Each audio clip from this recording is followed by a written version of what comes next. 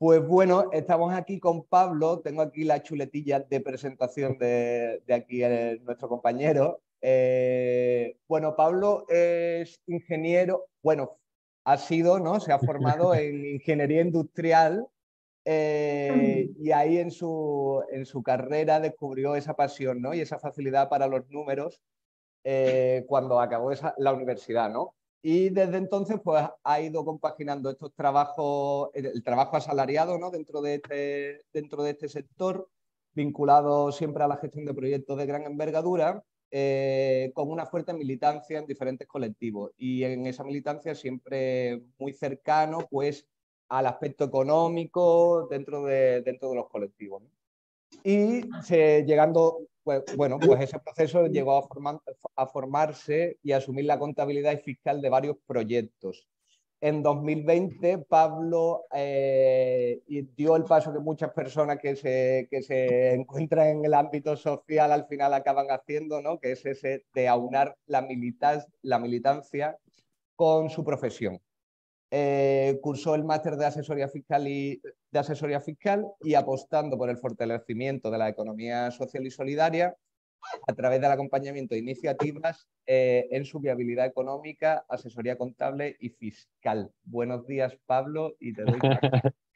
Muchas gracias, que me, me, da mucha vergüenza, reconozco esta parte. Pero, bueno, oye, eso es mi historia, sí, sí. Eh, total, total. He trabajado tiempo en el lado oscuro y, me, costó, me costó dar el salto a, a dedicarme a lo que realmente me gustaba, ¿no? Con, todos los miedos que eso supone, dejar un trabajo así como socialmente muy valorado, una buena remuneración y demás, para montar una asociación, ¿no? Movimiento que no, que no siempre nuestras madres alcanzan a entender, ¿no? Eh, ¿Para qué, qué, te sales del camino? Eh, pero bueno, pues también creo que eso me conforma, ¿no? Y, la visión que, os voy a compartir hoy, pues bebe de, esa realidad, ¿no? No solo de, haber acompañado a muchos eh, proyectos sociales desde la militancia y desde, y desde la base, sino pues también haber conocido prácticas de la, de la industria más, más, competitiva, más capitalista, eh, más agresiva, ¿no? Entonces, eh, bueno, yo no reniego de ese pasado, al revés, ¿no? Intento, intento coger lo que me sirvió y lo que aprendí y volcarlo a, a, otros fines mucho más, más acordes con, con mi forma de, de, pensar, ¿no? Entonces, bueno, la tercera pata eh, es, una asociación o un, espacio que, en el que pretendemos impulsar la, sostenibilidad económica en la economía social y solidaria. ¿vale? Eh, ahora pasaremos a, ver qué es lo que entendemos por sostenibilidad económica. Siempre empiezo así eh, muchas de las formaciones porque es como que es la, es la base sobre lo cual todo se, se sustenta. ¿no? Me voy a aprovechar de una de las expectativas que habéis colocado en el formulario con la debida confidencialidad, que, decía, cuando hemos conseguido dinero de subvenciones, eh, nos hemos dado cuenta que presupuestamos mal, ¿no? porque solemos andar ahogadas para cumplir lo programado y nunca queda un pequeño remanente para otras funciones esenciales de la asociación. Esto sería eh, una de las frases que he escuchado muchísimas veces, eh, no solo en asociaciones, en pequeños comercios, pequeños Em, pequeños proyectos de servicios, ¿no? En los que digo, es que o no me valoro bien, o al final voy ahogado, no tengo un sueldo digno, ¿no? Entonces, bueno, eh, partiendo también de, esta base, que es algo totalmente natural y habitual eh, en el sector eh, social, definimos la, la, sostenibilidad económica de la siguiente manera, ¿no? Como es la capacidad de maximizar el objeto social de la organización, garantizando unas condiciones dignas para todas las personas implicadas en el proyecto incluyendo tanto las que están dentro como las que están fuera. Vale, eh, todo lo que vamos a hablar hoy eh, tiene como fin último maximizar el objeto social de la organización. ¿Vale? Todo lo que vayamos a hacer, todas las herramientas que vayamos a aplicar, todos, eh, todo lo que vayamos a, a proponer tiene que ver con este fin último, que es que nuestra organización, ya sea asociación, empresa, lo que sea, dure el mayor tiempo posible eh, maximizando su objeto social para lo que fue creado, ¿vale? Y para que pueda durar tanto tiempo necesitamos unas condiciones dignas. ¿no? Y unas condiciones dignas no es lucrarse y tener un salario de 5.000, 6.000, 7.000 euros al mes. ¿no? Unas condiciones dignas es tener un salario del que podamos vivir y un tiempo de trabajo que sea compatible con nuestra vida. Y ahí cada uno le pone las horas que quiera, ¿vale? No no hay una definición única. Y esto que queremos aplicarnos para nosotras, eh, nos parece importante también que lo tengamos en cuenta con cómo nos relacionamos con, con, las personas que colaboran en el proyecto, ¿vale? Tanto clientas, usuarias, proveedoras, ¿no? Incluso colocamos dentro de este paquete también el medio ambiente, ¿no? Es decir, bueno, si queremos unas condiciones dignas para nosotras, ¿por qué no? Para quien trabaja con nosotras, para quien ofrecemos nuestro servicio y también para, para el medio ambiente, ¿vale?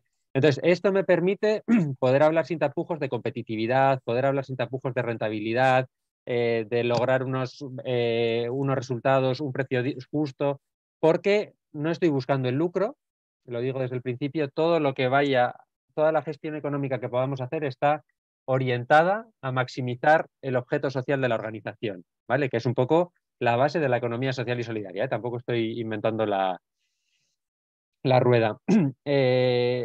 si os parece, eh, para intentar luego adaptar los, los, ejemplos que me vayan surgiendo, si os animáis a escribir en el chat qué tipo de actividades lleváis a cabo, ¿vale? Igual luego a mí también me, me ayuda, ¿no? Para coger ejemplos. Os doy ahí un, un minutillo o dos para, para, que me digáis más o menos a, a, qué, os, a qué os dedicáis. Vale, vale estáis empezando ya a escribir. Eh, guay.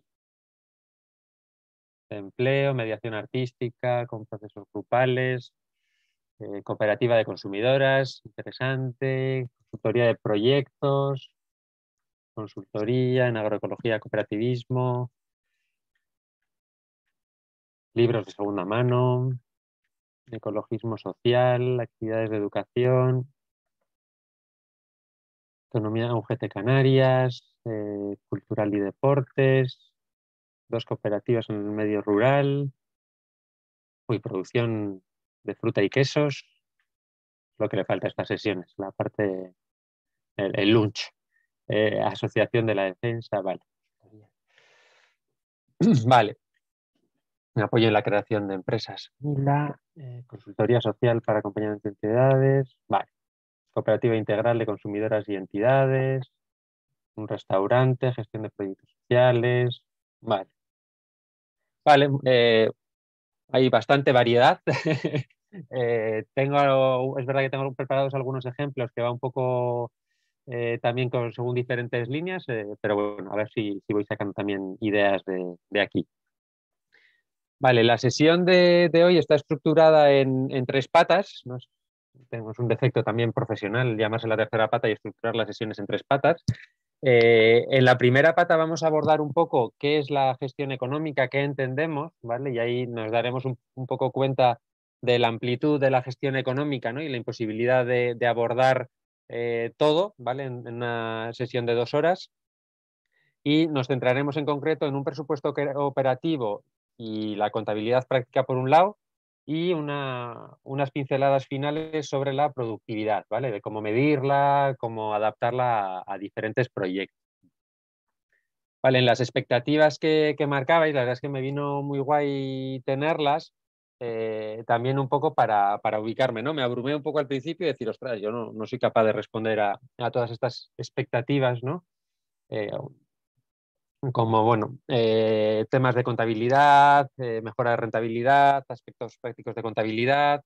Eh, bueno, vamos a, vamos a intentar abordar el mayor número de cosas, pero bueno, pues, teniendo en cuenta que sobre gestión económica hay másters, hay, hay talleres mucho más amplios, ¿vale? Entonces hoy veremos algunas, algunas pinceladas que he intentado que sean lo más prácticas posibles, ¿vale? Para que os podáis llevar a vuestro, a vuestro día a día eh, de manera un poco directa, ¿no? Sin, sin esto.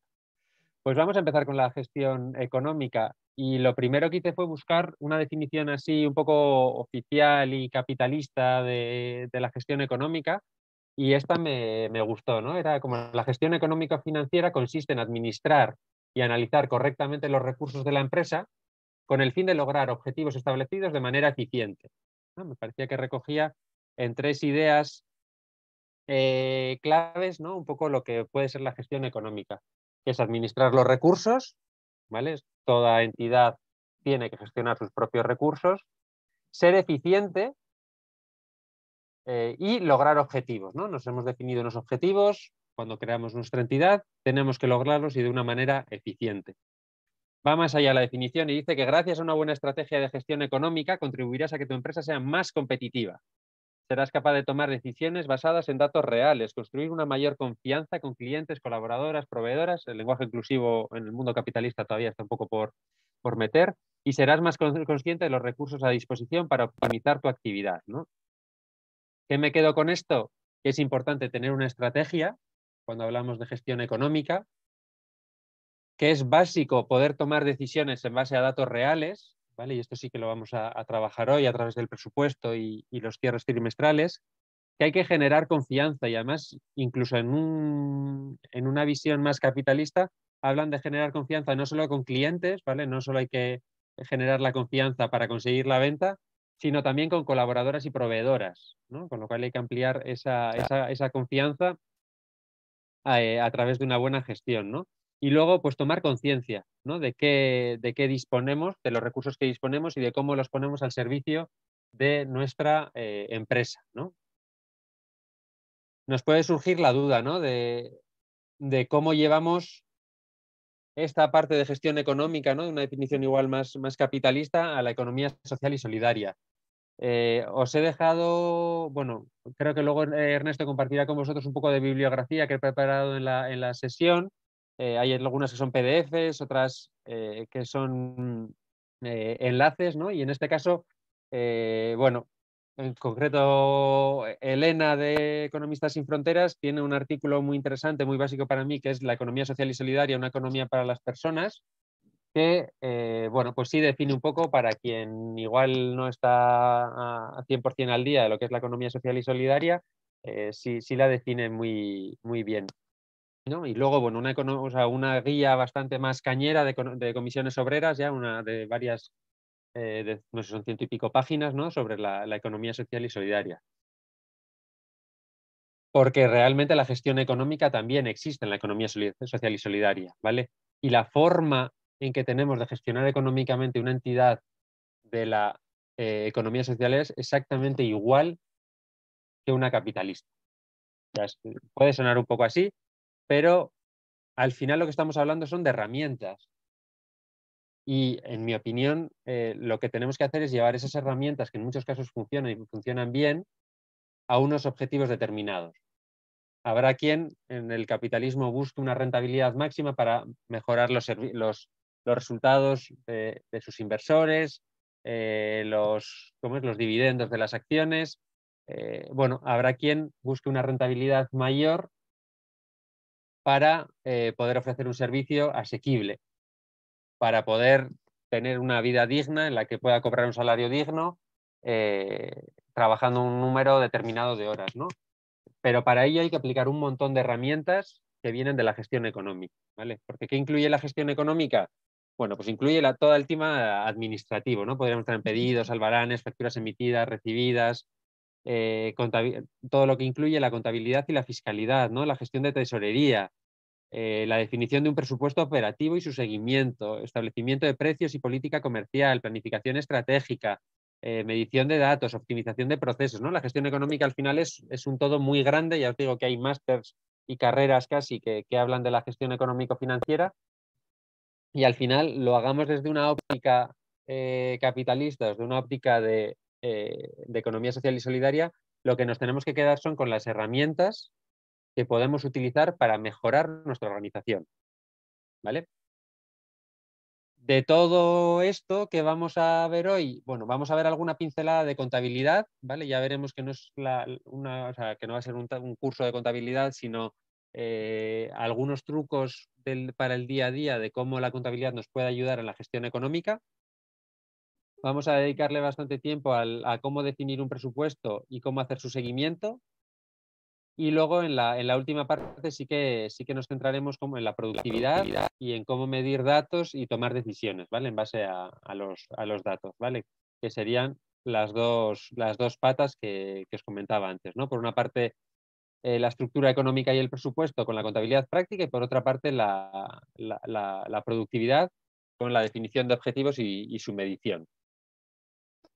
Eh, ah, Laura Vega, es cierto, lo, hemos, lo, hemos, hablado, que Ernesto y yo nos parecemos mucho, pues en Bilbao compartimos oficina y nos confunden.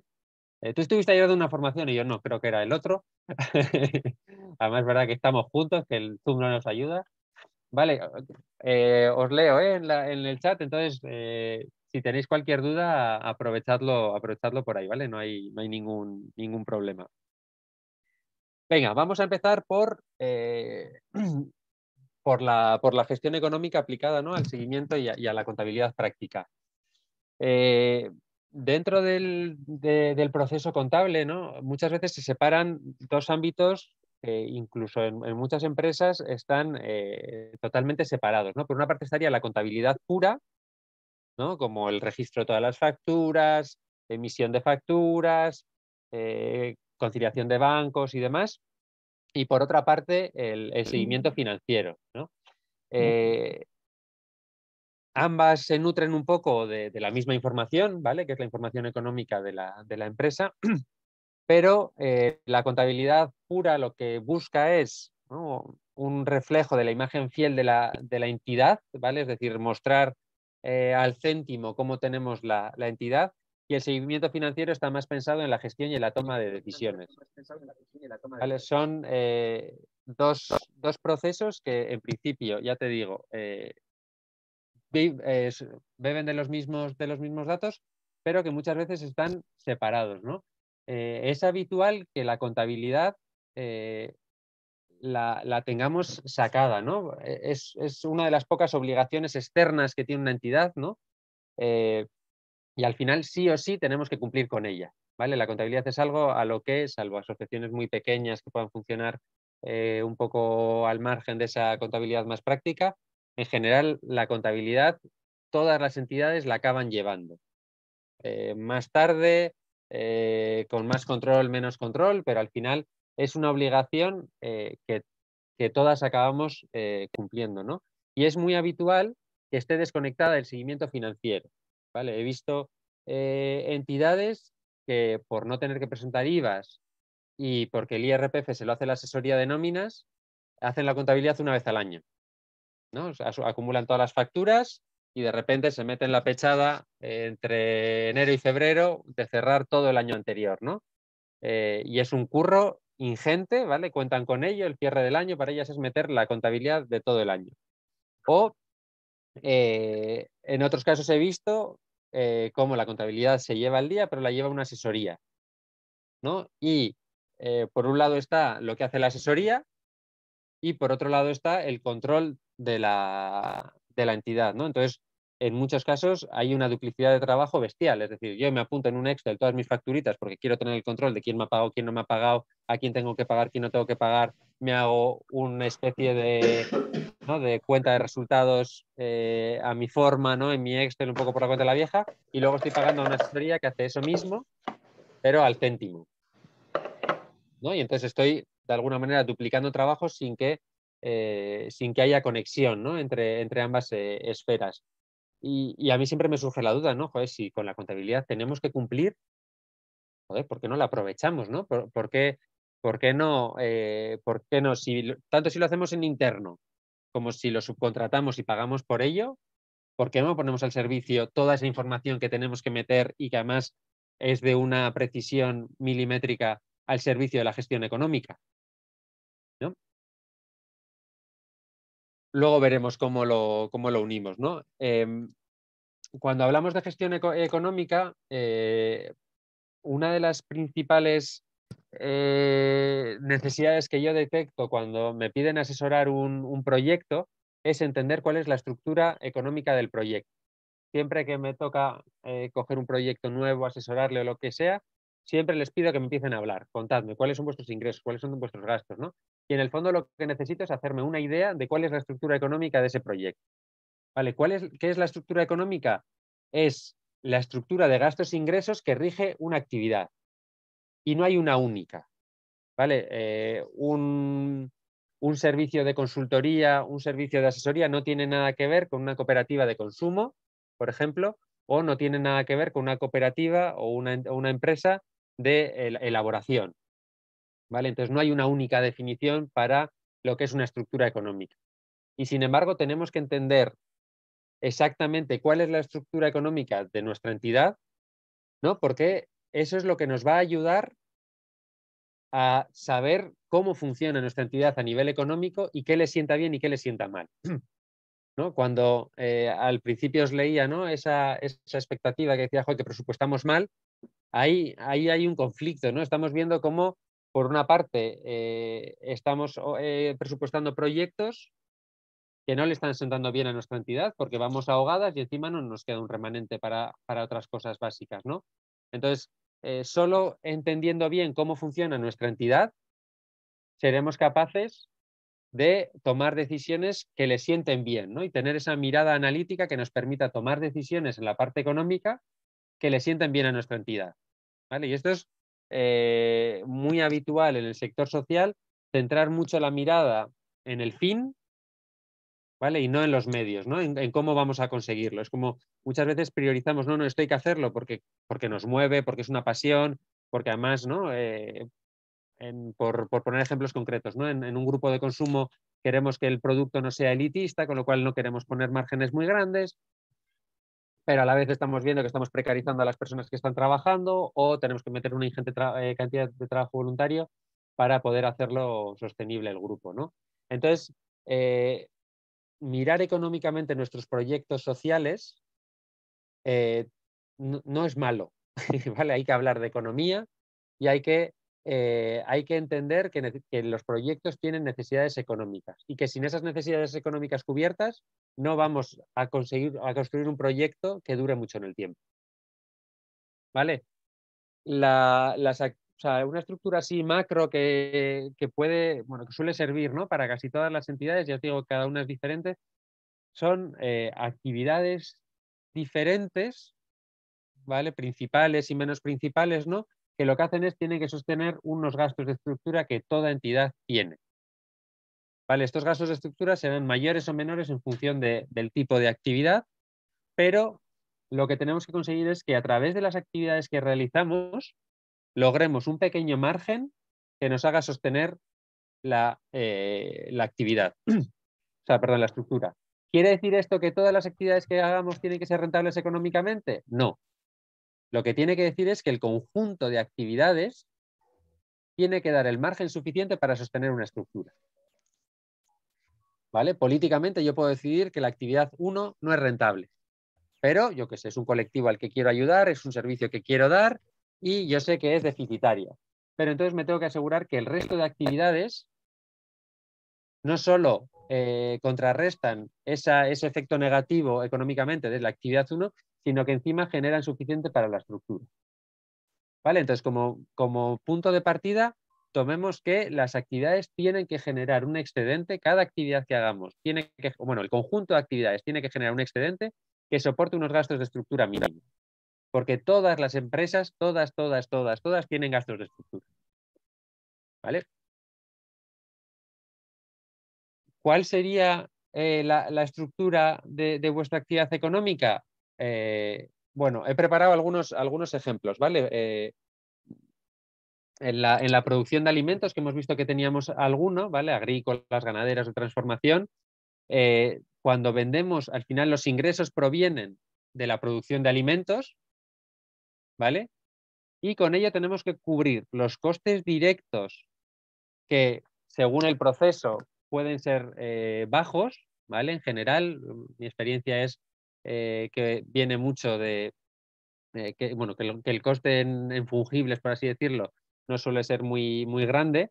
Y en cambio, los indirectos suelen ser bastante grandes, ¿no? Como es todo el personal, ¿vale? Una persona que tiene una huerta, al final en semillas, pues igual no gasta tanto, en plantones no gasta tanto, pero en cambio en personal sí que va a ser un volumen muy importante, ¿no? Entonces, la venta de alimentos tiene que cubrir ambas cosas, tanto lo que nos cuesta la, semilla, lo que nos cuesta el abono, lo que nos cuesta eh, los tratamientos fitosanitarios, como tanto el personal como los gastos fijos. ¿no? Pero nuestra estructura económica nos diría que tenemos que centrar muy bien el tiro en el precio de los alimentos. Otro debate es si, el sector de los alimentos eh, es más agresivo o menos agresivo, está totalmente desconfigurado por, por, las grandes superficies, ¿vale? Pero como estructura económica nos centraríamos en que el precio de venta de nuestros alimentos tiene que tener en cuenta todos los costes del proceso. Ocurriría eh, algo similar en el grupo de consumo de una tienda pequeña, ¿no? Que he visto que, había eh, un par de, ejemplos, ¿no? En estos casos, la estructura económica eh, se centra mucho sobre el margen que aplicamos a los productos. ¿Vale? Este es uno de los, cuando analizas la estructura económica de, un grupo de consumo, el margen que aplicamos a los productos se, se, define como uno de los indicadores clave, ¿no? Y claro, este margen es el que nos tiene que poder eh, cubrir los costes fijos que generalmente son importantes. ¿Vale? Porque en el momento que tenemos una persona contratada, en el momento que tenemos un alquiler de un local, en el momento que tenemos unos suministros básicos, eh, nos damos cuenta que o aplicamos unos márgenes eh, moderados o la mayoría de grupos de consumo con los que yo trabajo acaban siempre en, una precariedad o, en una indefinición eh, muy grande, ¿no? Y, muchas veces viene de, esa, de ese deseo de no hacer productos, o sea, una tienda elitista, ¿no? Que, pueda ser accesible, pero lo que nos estamos dando cuenta es que estamos cuidando una pata y estamos desatendiendo otra, ¿no? Eh, empresa de servicios, ¿no? Que he visto también que hay... Sí, eh, ¿alguien ha visto Hola, Marta, ¿has hablado tú? Pero igual por teléfono. Ok.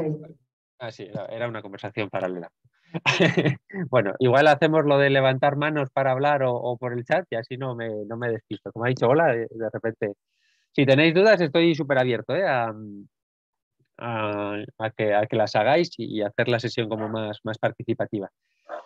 Una empresa de servicios, ¿vale? Que tiene que ver con todo el tema de asesoría, consultoría. He visto por ahí que había acompañamiento de, eh, de procesos y, demás, eh, incluso transporte, ¿no? Hemos trabajado alguna vez con, eh, entidades de, transporte en bicicleta, de riders, ¿no? Cómo, hacerlo.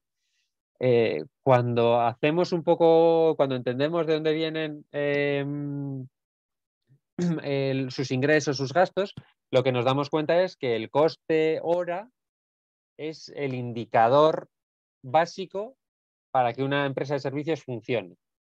Es decir, ¿a cuánto cobro yo la hora? ¿no? Y entonces, eh, ese coste horario tiene detrás un cálculo a priori sencillo, pero que tiene que tener en cuenta una serie de, variables. ¿no? Y ahí, en concreto, el tema de incluir horas productivas y reproductivas, además de todos los costes, es una de las claves. ¿no? Eh, es decir, yo no solo, no te voy a cobrar solo lo que trabajo mientras estoy contigo. ¿no? Contigo puede estar porque detrás tengo una labor de comunicación, porque detrás tengo una labor interna, ¿no? Entonces todas las horas que yo dedico a ofrecer servicios no me las paga el cliente o la clienta, ¿no? Entonces cuando yo calculo un coste horario, tengo que entender que a, la persona que me está pagando en ese momento le tengo que repercutir otros costes eh, que, nadie me va a pagar. ¿no? Entonces, eh, una empresa de servicios, una de las formas eh, más, ¿cómo es? Una de garantizar su sostenibilidad económica es un buen cálculo de tasa horaria. Vale. Ese, y el segundo sería una correcta gestión de las horas. No, no vale decir, te cobro a una tasa que me funciona, imagínate 40, 50 euros la hora, pero te cobro dos horas y te dedico 10 es otra de las cosas que nos pasa mucho en proyectos sociales, ¿no? que no cumplimos los presupuestos que decimos y que por entrar en, eh, precio y por no parecer demasiado caras, lo que hacemos es, eh, incluso si hemos calculado bien el coste hora, tiramos por abajo el número de horas que dedicamos o como nos emociona tanto y nos gusta tanto el tema, dedicamos muchas más horas y entonces al final las cuentas no, no cuadran. ¿no? Pero este análisis de estructura económica nos daría que tiempo y coste horario serían los parámetros más importantes para hacer que la entidad funcione. Y la, eh, manufactura o fabricación de, elementos, ¿vale? ya sea de, madera, ya sea de, de, cualquier eh, elemento que requiera eh, un proceso productivo más elaborado, igual más, más mecanizado, una de las claves para, em, para la sostenibilidad económica y que tiene que ver con la estructura económica es la cuantificación de costes, hacer una, contabilidad de costes correcta que nos lleve a saber exactamente cuánto vale nuestro producto. ¿Vale? Eh, y aquí, bueno, en función de la complejidad del proceso productivo se pueden aplicar unas herramientas u otras, ¿no? Pero eh, pero así como en todos los anteriores, igual no es tan necesario centrarte en el proceso productivo, en este último eh, la estructura económica se define por el propio proceso productivo. ¿no? Es decir, que todas las etapas de producción que me llevan desde una materia prima hasta un producto terminado, cuánto dinero me cuestan, se le aplicaría un margen para los gastos indirectos, que generalmente suelen ser proporcionalmente más pequeños a, los del propio proceso de productivo, y con eso obtenemos un precio. ¿Vale? No sé si os queda... Ah, bueno, y luego había incluido un tercero, en el caso de, pues viendo un poco lo de las, las expectativas, que serían los proyectos subvencionados, ¿no? Asociaciones o proyectos que funcionan eh, con, con subvenciones. Entonces, en este caso, las subvenciones tienen una doble función, ¿vale? Cubrir los costes directos, es decir, la ejecución del proyecto, y los costes indirectos, que es la estructura de la entidad. ¿Vale? Y en este sentido, eh, la descripción que se hacía al inicio, ¿no? Eh, la, subvención que habían solicitado no estaba cubriendo ninguno de los dos costes. Ni el coste directo, porque realmente el hecho de, reconocernos que estamos ahogadas significa que seguramente hayamos presupuestado por encima eh, de, lo que éramos capaces de hacer con el dinero que nos daban. ¿Vale? Y, y eh, los costes indirectos, ella misma reconocía que no quedaba ese remanente mínimo para pagar incluso la página web. ¿no? Esto es algo súper habitual en entidades, en, ONGs, en asociaciones que funcionan con, eh, con, con, proyectos subvencionados. ¿vale? Concurrencia competitiva quiere decir que tengo que hacer un proyectazo para que me lo den y conseguir todos los puntos de la baremación y eso muchas veces me, obliga a tener que meter un montón de actividades que luego no soy capaz de justificar en sueldos porque la subvención no da para tanto.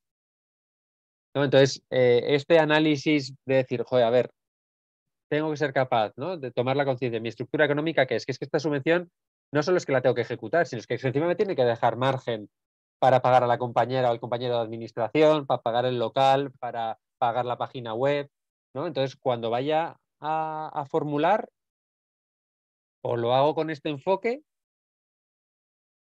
o si no, estoy condenado o condenada a vivir estresado o estresada. Y creo que Ernesto tampoco es ajeno a, esta situación. ¿no? Quiere decir que incluso en una entidad como Economistas sin Fronteras, que, eh, eh, que tiene eh, mucho recorrido y demás, caemos en la, en, esa trampa un poco de, los, de las subvenciones que vamos a competencia con otras organizaciones y sobredimensionamos los proyectos y luego no somos capaces de, llevarlos a cabo. ¿vale? He puesto el ejemplo de economistas porque sé que lo tengo cerca, pero yo mismo he formulado proyectos de los que luego me he arrepentido. ¿vale? Y decía, claro, lo conseguí la subvención. Luego pensaba, digo, pues si esto, si lo hubiera vendido a un, a un, a un cliente externo, hubiera cobrado cuatro veces lo que, lo que me han dado en la subvención, ¿no? Eh, Laura nos cuenta que a veces en subvenciones el remanente se utiliza para cubrir el porcentaje económico que debe poner la asociación en el proyecto y no llega a la estructura. Bueno, otra trampa maravillosa de las, de las instituciones, ¿no? Vamos a cofinanciar los proyectos, qué maravilla. ¿Y cómo los cofinancio? ¿No? Habrá entidades más grandes que tengan eh, esa capacidad de, cofinanciación. Pero en muchos casos, como dices, eh, esto me, me, ocurrió hace poco en un proyecto en el que te subvencionan el 80% de lo que presentas. Maravilloso. Entonces, el proyecto, eh, claro, te obligan a justificar el 100%, con lo cual te obligan a justificar que el 100% sale de la cuenta. Eh, entonces, claro, una entidad cuando dice, bueno, nos han concedido el proyecto, ahí nos quedan 4.000 euros para nosotros, claro, cuando hicieron la cuenta que tienen que pagar al resto el 100% y no el 80% que les han concedido, pues si no nos queda nada. Y yo, pues efectivamente, no nos queda nada. ¿No? Entonces, incluso entendiendo eso, eso nos debería cambiar la mirada, por lo difícil que es, que soy consciente, a decir, bueno, voy a dimensionar los proyectos sabiendo que le tengo que decir a la administración, en algunos casos, que en lugar de cinco, de cinco horas que me cuesta, me cuesta ocho. ¿no? Y tengo que ver la forma a la hora de formular de eh, cubrir las horas que realmente me va a llevar o las que tengo que cubrir de otra forma. ¿no? Entonces, la mirada a los proyectos tiene que tener en cuenta esta estructura económica y tiene que tener en cuenta esta vertiente económica. ¿Vale? No solo la, técnica, por así decirlo. Y la económica no verla solo como, vale, esto lo justifico con nóminas, esto con facturas. no, no, no. Es, eh, este proyecto es viable. ¿no? Y esto me vale para las, subvenciones, pero me vale para cualquier servicio que yo ofrezca. Un servicio de, acompañamiento, un servicio em, de asesoría, un servicio de tal. Bueno, puedo ser caro o barato, pero en, el fondo lo que necesito saber es, ¿este precio me cubre todo lo que yo estoy dando? ¿Vale? Eh, entonces, ese es el objetivo de intentar cambiar la mirada y entender nuestra, nuestra entidad, ¿vale? Cada una a su forma, cada uno tal, pero meter la, eh, la conciencia económica en los proyectos sociales no los pervierte. Al revés, los hace más duraderos. ¿vale? Y eso sí que es algo que, debemos, eh, o yo entiendo que lo debemos incluir. ¿Habría alguien que tiene eh, dudas así a primeras que quiera compartir? Dijo, pues yo no sabría definir cuál es la estructura económica de mi entidad. No encaja en ninguno de estos, de estos ejemplos. O que quiera compartir alguna cosa concreta en, este, en esta línea. Os animo porque suele ser de las cosas más ricas, no tanto el que habla, sino lo que aportan nuestros proyectos y os escuchéis entre, entre vosotras. Si alguien ha tenido así alguna, alguna experiencia con este tema o, tiene alguna duda, os, os animo a compartirla.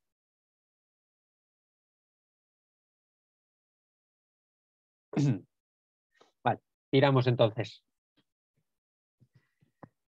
Venga, pues vamos a eh, a por el presupuesto anual. ¿eh? Ya os decía que dentro de esta, de esta primera pata teníamos lo primero, entender la estructura económica y una vez que hemos entendido la estructura económica, teníamos tanto el presupuesto anual como la contabilidad práctica. Vale, ¿cuántas de vosotras eh, hacéis un presupuesto anual? ponerlo por el chat. Sí, o, sí, sí, no, por favor. ¿Quién se toma el trabajo de en diciembre eh, o en enero, ¿no? Tener un plan del año.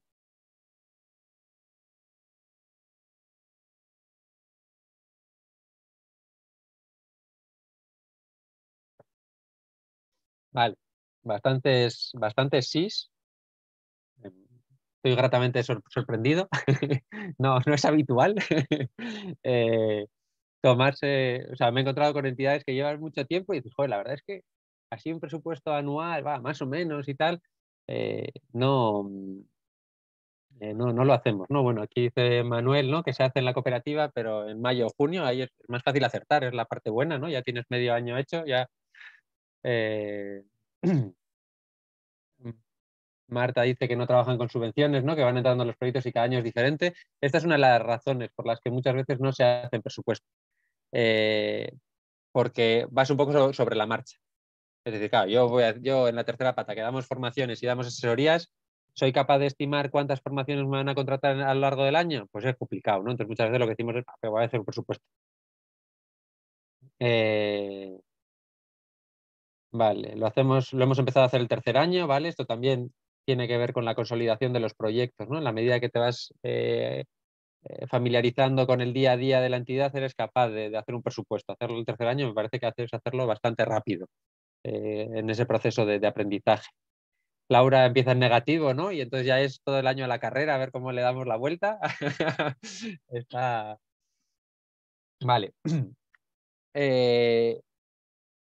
algunas ideas sobre, el presupuesto, ¿vale? Para, montar. Eh, eso, ¿no? Marta dice, claro, la implicación de las socias, somos una cooperativa, es diferente según su momento vital, tampoco sabemos lo que va a entrar. Es una de las principales razones por las que, sobre todo en el sector de servicios o en el sector igual incluso eh, de compraventa, es difícil hacer, nos cuesta hacer un presupuesto. ¿vale? Y esto también yo creo que tiene que ver con el tamaño. Igual cuando somos entidades más grandes siempre suele haber una persona encargada más de las cuentas, ¿no? a la que se le encomienda por lo menos darnos un presupuesto. Eh, en proyectos más pequeños cuesta más hacer esta tarea de, hacer el, presupuesto y luego la, ¿cómo es? La, incertidumbre a nivel de qué servicios van a entrar, pues también eh, nos lleva muchas veces a no, a no hacer ese presupuesto. Vale, un presupuesto, así como, como ideas generales sobre el presupuesto, nunca se cumple. ¿Vale? Una de las cosas que aprendí a, no hacer en, la empresa en la que trabajaba eh, antes, que era, ya os digo, una multinacional con un departamento de ingeniería financiera, era que el presupuesto lo hacíamos en septiembre del año anterior y se enviaba a Madrid y nos pasábamos todo el año haciendo trampas para cumplirlo. Es decir, daba igual lo que ocurría durante el año que lo que teníamos que decir a Madrid es que habíamos cumplido. ¿Vale? Y todo eso generaba una serie de tensiones absurdas porque a Madrid le teníamos que decir, hoy hemos cumplido con el presupuesto. Entonces, un presupuesto nunca se cumple. Lo que nos facilita es un plan aproximado para el año. Si yo nunca hago el ejercicio, como dice Laura, de, que me salga en negativo el año, no, puedo tomar decisiones. Me pego el, golpe en octubre, noviembre, digo, joder, si, no hemos cobrado o hemos cobrado eh, muy poquito, ¿no? Entonces, al menos necesitamos un plan para el año. Luego nos ayuda a definir unas, variables importantes a seguir. En el caso de la tercera pata, si me dedico a formaciones y asesorías, eh, si yo en mi presupuesto defino que para tener un sueldo digno necesito dar 10 formaciones de 30 horas, por ejemplo, durante el año puedo ir haciendo seguimiento a ese indicador que me he marcado. Si no hago un presupuesto, eh, no tengo nada a lo, que, a lo que hacer seguimiento. ¿no? Y el presupuesto lo que te hace es junto con el seguimiento del presupuesto, tomar decisiones para, corregir desviaciones. Si yo no tengo un camino, no sé cuánto me he desviado del camino y por lo tanto no sé, no sé qué decisiones tengo que tomar para volver al camino o para crear otro camino que me lleve a un presupuesto eh, que me cuadre y que me permita eh, unas condiciones dignas. Eh, hay herramientas de presupuestos para todos los gustos infinitamente complejas, eh, que te hacen gráficos y todo tipo de, virguerías. ¿vale? Y mi recomendación siempre es ir a Pareto, un equilibrio entre sencillez y exactitud. ¿no? Eh, no busquemos el céntimo en un presupuesto que sabemos que no se va a cumplir, ¿vale? sino que busquemos el 20%, ¿no? Esto es un poco que el, el 20% de las causas se, explican con, perdón, el 20% de los efectos se explican, lo voy a decir al revés. El 80% de los efectos se justifican con el 20% de las causas. ¿no? Entonces vamos a intentar definir cuáles son los, eh, los elementos principales de nuestra actividad y dejemos los céntimos para otro día, porque no es, el presupuesto no es el espacio de cuadrar el céntimo, esa es la contabilidad. ¿Vale?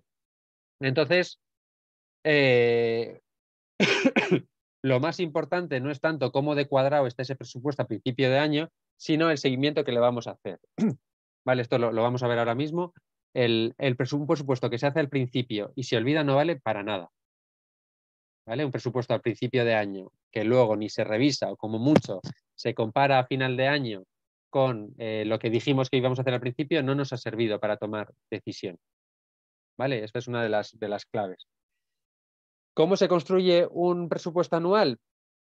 Eh, pues no se necesitan grandes conocimientos de economía financiera para hacerlo. ¿Vale? La cuenta de la vieja en la mayoría de proyectos funciona muy, muy, muy bien.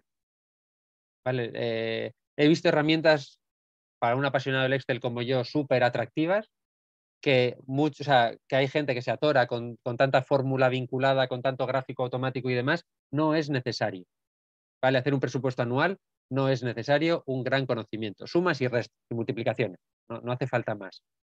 ¿Vale? Lo que sí es importante es tener esa visión de la estructura económica de, la, organización, ¿vale? Y a ir por partes.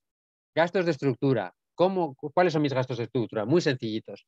¿De dónde saco dinero? De actividades económicas, de proyectos, qué otros ingresos tengo que me ayudan a sostener la actividad, ¿no? Ir como parte por parte, ¿no? No atorarnos con el, con el presupuesto global, ¿no?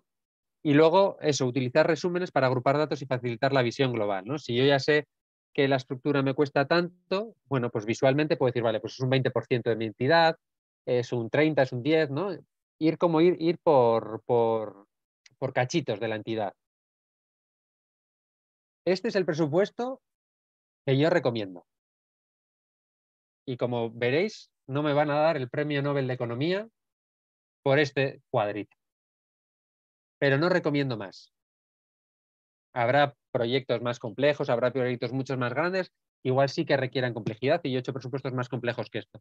Pero para el 90% de proyectos, un Excel de sumas y restas es más que suficiente.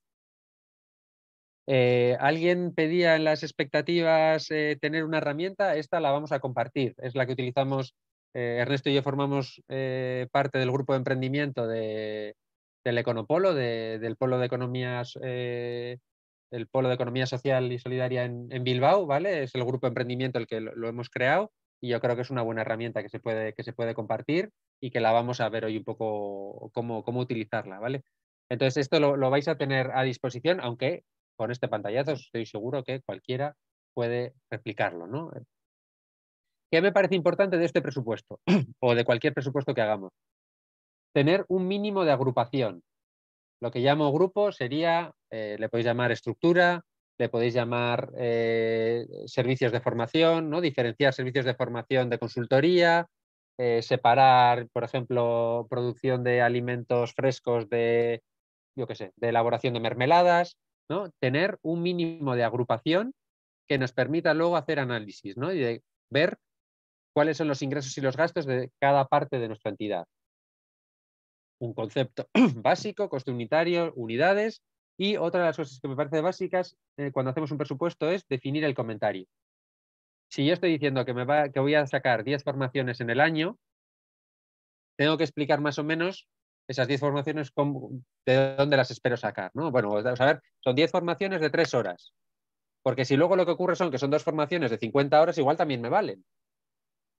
Entonces, tener el cálculo escrito de cómo he calculado ese ingreso o ese gasto me ayuda luego a hacerle seguimiento. ¿Vale? Entonces, eh, tener muy claro de dónde sale el presupuesto es básico para luego hacerle un seguimiento. Pero lo dicho, no. Si, si, alguien necesita un proyecto mucho, o sea, un presupuesto mucho más elaborado, lo podríamos hablar, ¿eh? pero mi experiencia acompañando a proyectos es que el 90% encaja en, este, en esta descripción. Es sencillo, es fácil de, entender, ¿no? Eh, la idea de este presupuesto también es, como veremos luego, que eh, que lo podamos compartir con el resto de la organización. Y al resto de la organización, cuando le metemos un Excel que solo entiende el que lo ha hecho, y de eso soy un experto, en hacer Exceles muy complejos que solo entiendo yo, no vale para nada, porque la, gente no lo entiende. Y en ese momento el de los números o la de los números queda totalmente eh, delegada al ostracismo, ¿no? a que solo entiende ella sus tablas y cuéntame porque no te entiendo. Con lo cual es importante tener una herramienta que sea fácil de entender la agrupación mínima que os comentaba para poder hacer luego cálculos básicos de si las líneas de trabajo me dan o no ingresos, o sea, me dan o no beneficios, y los comentarios para poder hacer el seguimiento. No, pido, o sea, no creo que sea necesario más para eh, una, una, empresa, vamos a decir, de pequeña o, mediana. ¿vale? Lo que os decía, os hemos pasado el presupuesto anual con seguimiento trimestral, ¿no? que hemos hecho dentro de, de RAS Euskadi. y un poco algunas propuestas para, integrarlo en la organización sería eh, lo que os decía, ¿no? que la construcción del propio presupuesto sea lo más colectiva posible. Es decir, intentar evitar eso de que la de los números, el de los números, eh, como que se queda, se queda sola, ¿no? Entonces, que sea una herramienta conocida y comprendida y que sea útil. Cuando hablamos de, de agrupar, quiere decir que si hay una persona que está encargada de una línea en concreto de la entidad, que se apropie de ese presupuesto, que lo entienda y que lo haga suyo, ¿vale? Y que le sirva para entender qué impacto tienen las desviaciones de su propia línea en el conjunto de la entidad. ¿Vale? O sea, no hay que pensar como un presupuesto de arriba abajo, sino un presupuesto de abajo arriba. Y cada elemento o cada participante de la entidad aporta eh, con un impacto mayor o menor al presupuesto global de la entidad. Si no conseguimos que toda la entidad entienda el presupuesto, es muy difícil luego poder llegar a unas tomas de decisiones horizontales eh, y democráticas como nos, como nos gusta, o como creemos que, deberían ser. Entonces necesitamos la mirada global de la entidad, pero construida desde la particularidad de cada área. Si nos dedicamos a subvenciones y hay diferentes tipos de subvenciones y, cada, y hay diferentes personas con diferentes, con diferentes subvenciones, necesitamos que cada persona entienda cómo afecta el resultado de su subvención al proyecto. ¿no? Lo mismo con servicios. Eh, incluso necesitamos, en un grupo de consumo, en una cooperativa de consumo, necesitamos que las socias consumidoras entiendan eh, la estructura económica y el presupuesto de la entidad. Y que cuando decimos que vamos a conseguir 5.000 euros al mes de ventas, lo tenemos que conseguir entre todas, Y que ese consumo es, eh, es entre, entre todas, Vamos a hacer una siguiente pregunta, ¿no? Eh, sobre el seguimiento del presupuesto. ¿Cuántas de vosotras, de todas las que habéis dicho que sí hacéis presupuesto, hacéis el seguimiento eh, a, ese presupuesto? Y si os animáis a poner la periodicidad, pues os lo agradezco. Pues lo revisamos todos los meses. Lo revisamos eh, una vez al año. Lorena trimestralmente. Lorena, ¿me, recuerdas a qué os dedicabais por curiosidad? A ver si lo veo por aquí arriba. Mm.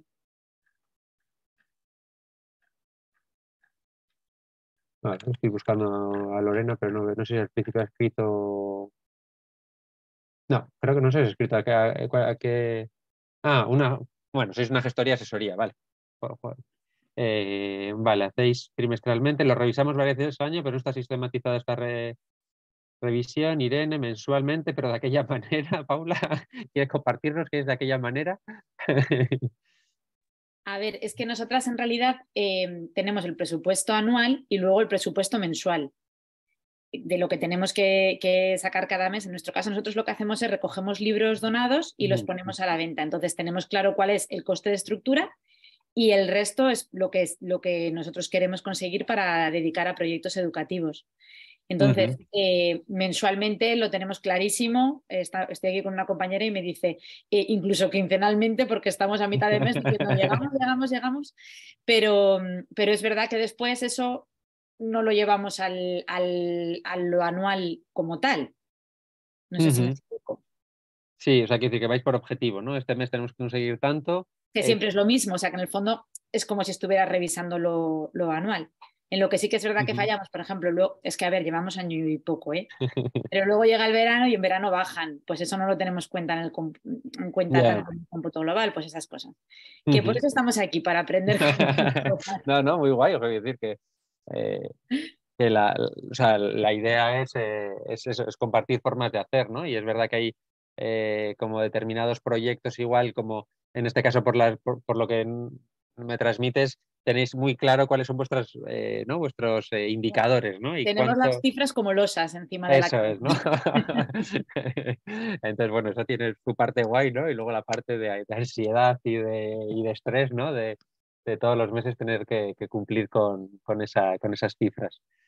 En una cooperativa energética hacemos presupuesto y se revisa cada cuatro o cinco meses en torno a la asamblea de cuentas, ¿vale? Y luego cuando vemos algún sobresalto en el día a día, ¿no? Ese es un gran momento para, para revisar también.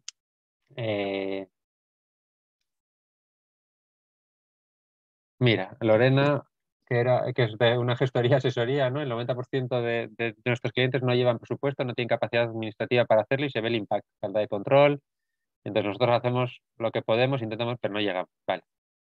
Eh, no sé si esto eh, lo podré suscribirlo yo dentro de unos años, ¿no? Porque nosotros también tenemos servicio de asesoría en la tercera pata y, lo que incluimos un poco dentro de este servicio de llevar las cuentas son los cierres trimestrales. Un poco trimestralmente, como suelen haber cierres de IVA y demás, eh, nosotros sí que nos queremos ofrecer como esa parte, decir, a ver, ¿cómo vais? aunque no hayáis hecho un presupuesto, ¿no? poder darles nuestra visión eh, de cómo vais y un poco anticipar los golpes o, las decisiones eh, antes de, de, final de año. ¿no? Entonces, bueno, pues igual es verdad que en un tiempo no, no llegaremos a ello, pero, pero bueno, entiendo, Lorena, que ves la, necesidad en esas entidades, ¿no? Yo también es un poco la realidad que, constato. Bueno, vamos a, a volver un poco a, la idea de antes. ¿no? Un presupuesto que se hace al principio y se olvida no vale para nada. ¿No? Eh, es, que, es que da igual. Bueno, o sea, que igual te sirvió en el momento que lo, que lo hiciste, eh, pero luego si no, si no le haces seguimiento, eh, no, no, te está aportando ninguna, ninguna información. ¿no? Igual a principio de año te ayudó a guiar los primeros meses de actividad, pero luego no, no sabes ¿no? si se está cumpliendo o no. Eh, ¿Por qué es importante el, seguimiento? Pues porque nos permite identificar desviaciones, ¿no? Y cuando, eh, cuando eh, identificamos desviaciones, podemos actuar antes, ¿vale? Podemos anticiparnos antes de que sea demasiado, demasiado tarde, ¿no? y además una de las cosas que a mí más me gusta del seguimiento trimestral es que podemos eh, sumar y ponderar el efecto de diferentes situaciones. ¿no? Quiere, decir con esto que antes eh, Ramón contaba ¿no? los, sobresaltos del día a día. Eh, muchas veces desayunamos con, nos han dado un proyecto, este cliente nos ha dicho que sí, este cliente no nos va a pagar, se nos ha caído este proyecto que creíamos que nos lo iban a dar, ha subido el coste de no sé qué, nos hemos equivocado y hemos metido una factura que, que no era y nos la vamos a comer. Ocurren un montón de cosas a lo largo de la semana, del mes, que muchas veces no sabemos el efecto ponderado que tienen en nuestra actividad. Y el seguimiento, el hacer un seguimiento del presupuesto nos permite actualizar todas esas cosas que han venido ocurriendo en ese tiempo eh, de, forma ordenada y ver cuál es el resultado. Vale, esto nos lo han dado, esto nos lo han quitado, en esto me he equivocado, pero no hemos ganado. ¿Cuál es el resultado después de todo eso? ¿Tengo que estar preocupada o no? ¿no? Porque muchas veces nuestro estado de ánimo cuando hacemos eh, cuando tomamos determinadas decisiones económicas viene determinado por las últimas novedades. Y si en esa semana se nos han caído dos clientes o dos proyectos y estamos tomando decisiones si contratar a alguien o no, pues igual nuestro estado de ánimo va a decir, no, no, no vamos a contratar a nadie que nos va fatal. Pero igual todo el mes anterior hemos tenido eh, noticias mucho mejores, ¿no? Entonces, si no hacemos una ponderación de todo lo que ha ocurrido, no podemos saber cómo de bien o cómo de mal vamos. Entonces, esta capacidad de, ponderar, ¿no? Lo que nos hace es nos reduce la, incertidumbre, sabemos dónde estamos y por lo tanto podemos anticipar cómo acabaremos el año antes de que ocurra, ¿no? Y podemos tomar eh, esas decisiones, ¿no? ¿Cada cuánto haría los, eh, los cierres o los eh, seguimientos? esto es eh, de, la experiencia de los proyectos que he acompañado. ¿eh? Mensualmente en muchos proyectos pequeños los cambios no son significativos. ¿vale? Eh, Paula me dirá que, en, su proyecto hasta cada 15 días los cambios son significativos y que, hay que hacerle seguimiento cada 15 días. Y me parece totalmente real, ¿no? y, me parece que que es importante. Pero en general, proyectos, ya sea una cooperativa energética, una cooperativa de consumo, una empresa de servicios, eh, generalmente, eh, mensualmente, podríamos hacer cierres, pero eh, suponen un coste grande. ¿no? Cada vez que hacemos un cierre es, es una inversión en, tiempo que, muchas veces no, no, tenemos. Y los cambios, mi experiencia es que tampoco son demasiado significativos. Podríamos hacerlo semestralmente o anualmente, pero mi experiencia es que no hay margen de actuación. Entonces, un análisis tardío es más una autopsia que, un diagnóstico. ¿no? Lo que nos podemos encontrar es que cuando hacemos eh, una revisión de presupuesto a final de año, podemos explicar qué ha ocurrido, ¿no? para bien o para mal, pero, podemos explicar hacia atrás, no podemos eh, eh, tomar decisiones. ¿no? Y una propuesta intermedia entre los mensuales o los anuales sería los trimestrales. ¿vale? Trimestralmente ya sí vemos eh, cambios significativos ¿vale? y nos permite tomar decisiones. Pensad que los cierres trimestrales los podríamos hacer en abril, en julio más o menos, cuando ya ha transcurrido la mitad del año, y en, eh, en octubre, que sería ya cuando nos queda el último tramo del año. ¿no? Entonces, eh, y luego, por supuesto, ya en enero, ¿no? para cerrar el año. Pero nos permite quizás el, el, primer trimestre, muchas veces para, según el tipo de actividad, para, para abril todavía no hay grandes cambios de presupuesto, muchas veces incluso porque los presupuestos se suelen hacer en febrero, ¿no? que lo ideal es hacerlos en diciembre, muchas veces eh, llegas a hacerlos en, febrero o marzo, ¿no? Con lo cual para abril no tienes grandes eh, variaciones, pero para verano ya sí, para verano ya te has comido seis meses del año, ¿no? Con lo cual eh, ya, ya han ocurrido muchas cosas, ¿no? Y luego el de octubre para mí también es clave porque es el que, el que más se aproxima al cierre del año y donde más decisiones puedes tomar. ¿No? Con lo cual, bueno, esa sería la, prepuesta. Lo que os decía antes, ¿no? No hay que adaptar. Una pregunta, Pablo. Eh, mira, en la, en la anterior es que no lo he entendido antes y ya digo, voy a preguntar lo que vuelve a aparecer, lo de 80-20. Sí. No acabo de entender qué quiere decir esa, esa imagen. El 80-20 es eh, que intentemos eh, cubrir, o sea, yo en este caso lo hago, o sea, es un equilibrio entre coste y beneficio, ¿vale? Es la imagen del diagrama de, Pareto, que, hoy no me va a salir, pero creo que es que el 80% eh, de los problemas se explican con el 20% de las causas o algo así. Un poco la idea es que el, el 80% de nuestra entidad se puede explicar con el 20% de información. Es decir, que no necesito el detalle al céntimo de cada cosa que ocurre en mi organización. Yo puedo explicar el 80% de lo que ocurre en mi organización teniendo como referencia un 20% de la información. Es un poco una forma de hablar, ¿eh? pero eh, para mí siempre es el, diagrama de, del coste-beneficio. Es decir, yo puedo hacer un presupuesto cuadrado al céntimo que me lleva, yo qué sé, 20 horas hacerlo y no va a ser mejor que un presupuesto que tardo 10 horas en hacerlo con menos información detallada pero que en el conjunto me va a valer. Tiene, tiene que ver un poco con eso, ¿no? ¿Puedo hacer un cierre mensualmente? Sí. ¿La información que me va a dar es, muy precisa? Sí. ¿Necesito eso para mi entidad? Yo creo que en la mayoría de los casos no. ¿No? Con lo cual, tú puedes ir a un nivel de detalle eh, infinito si quieres, pero llega un momento en el que por dedicar más tiempo no vas a tener información más significativa. ¿Vale? Es una máxima que yo utilizo mucho en, en mi trabajo y que recomiendo a los proyectos, ¿no?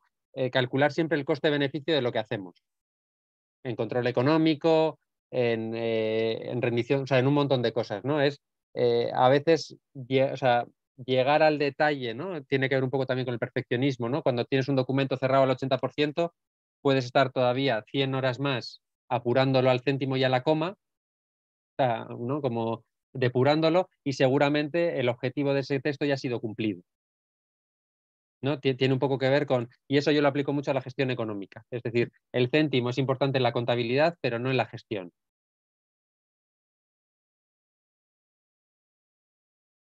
Eh, eso, lo que os comentaba de, antes, ¿no? del ejemplo de, mi empresa, ¿no? un poco la idea de que el presupuesto no se tiene que adaptar al, al revés, la realidad no se tiene que adaptar al presupuesto. Podemos tener un presupuesto final ¿no? Una realidad final que no se parezca en nada al presupuesto inicial y no pasa nada.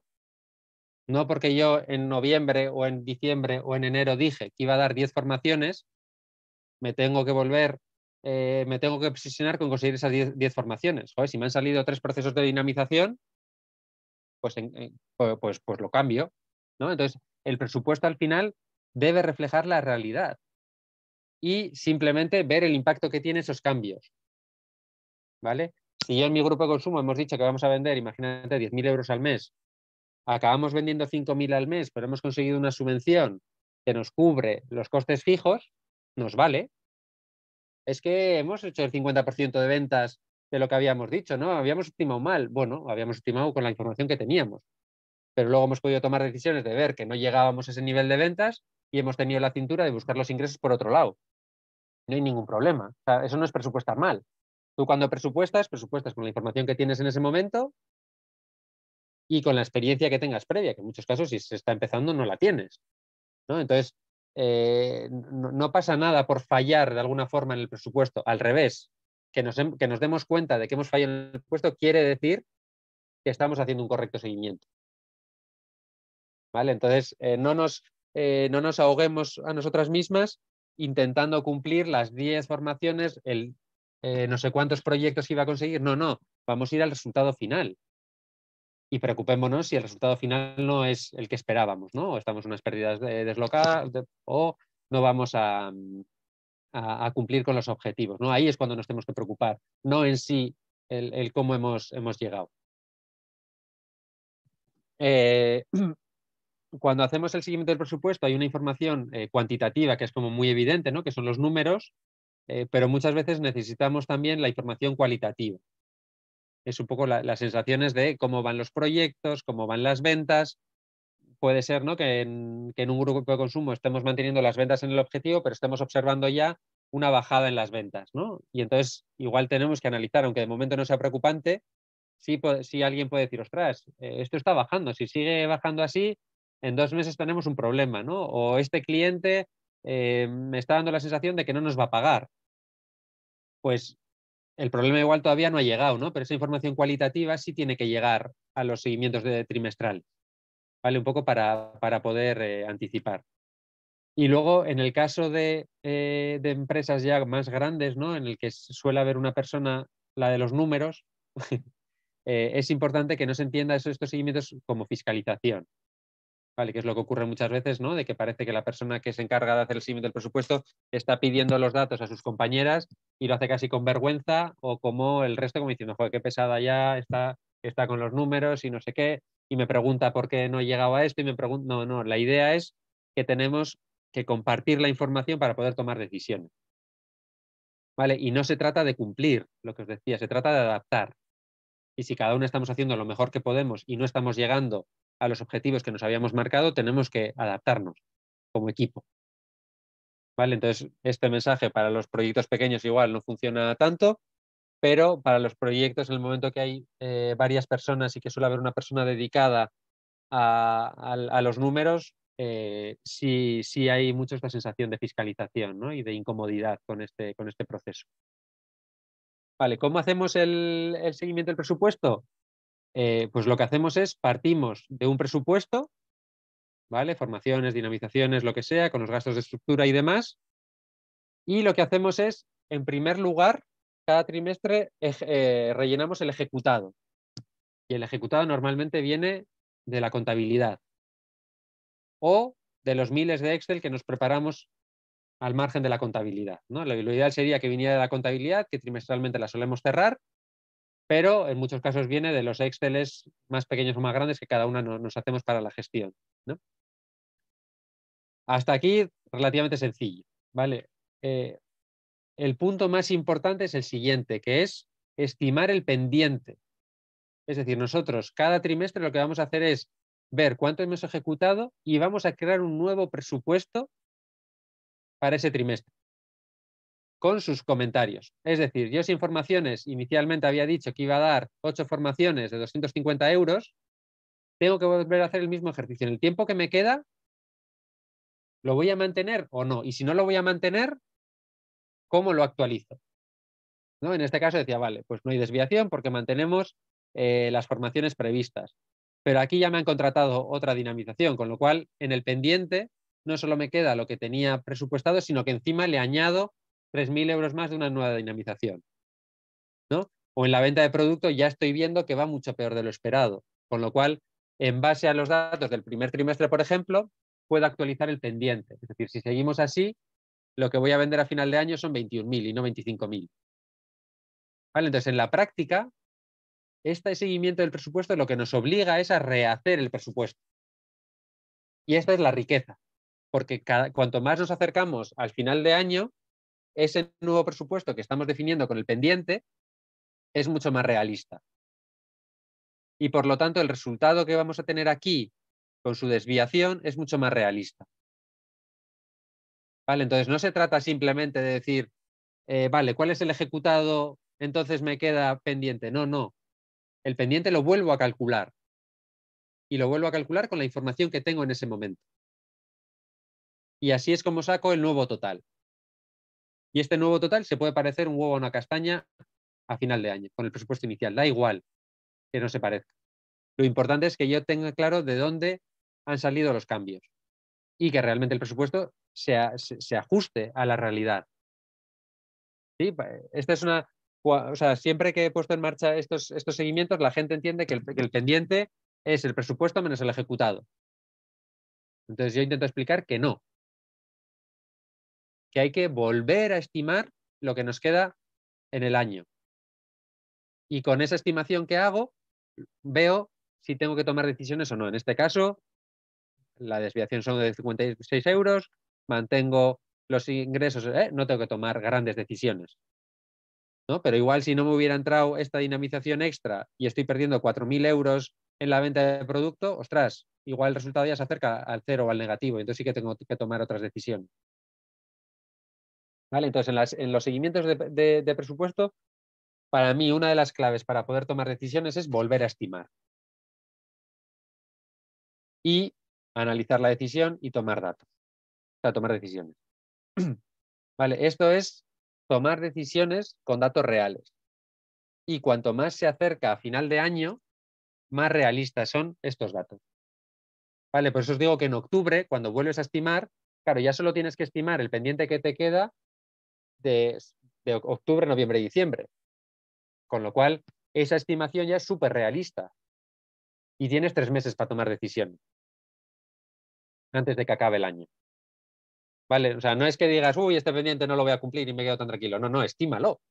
Estima qué te queda de pendiente y toma decisiones, porque estás a tiempo. Vale, tengo. Ruth, adelante. No sé si ha sido sin querer, que lo has quitado rápido. Hola, buenas. No, perdón, perdón pensaba, que lo había, pensaba que no lo había quitado. Eh, una pregunta que me ha surgido sobre la columna grupo y concepto. Yo mm. no sé por qué te había entendido antes que, digamos, el grupo era como la dentro de una misma organización puede tener diferentes actividades ¿no? Eh, separadas. Es decir, bueno, pues vamos a categorizarlas por esas diferentes actividades y luego ya, eh, digamos que una misma actividad puede tener diferentes conceptos en función de las semiactividades que se haga dentro de esa actividad. Entonces, en este ejemplo, por ejemplo, me ha me ha parecido curioso que no has rellenado la columna grupo y, en concepto has puesto como lo que para mí sería el grupo. Entonces no sé muy bien vale. si lo No, lo has entendido perfectamente y es verdad que en el que he rellenado un presupuesto como muy cutrillo para centrarme realmente en lo otro y no, no, prestaba atención, como ves, al grupo y al concepto. Eh, en este caso, eh, es, como dices, ¿vale? Aquí podría haber dos, dos, dos cosas, ¿eh?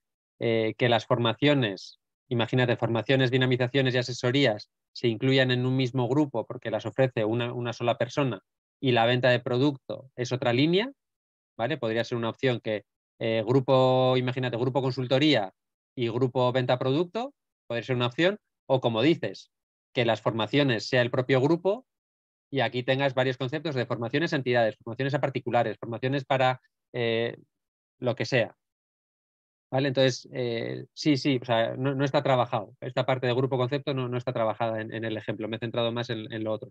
Y aquí lo mismo, en, gastos, eh, pues suministros, telefonía, seguros, tenga, tenga, que ver con, tendría que ver con estructura, ¿no? Entonces el grupo sería estructura.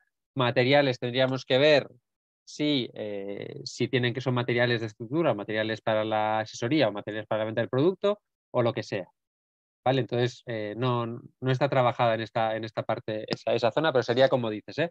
Puedes poner grupo de formaciones y desglosar o, o, que tu línea de actividad la llames consultoría y tenga formaciones, dinamizaciones y asesoría.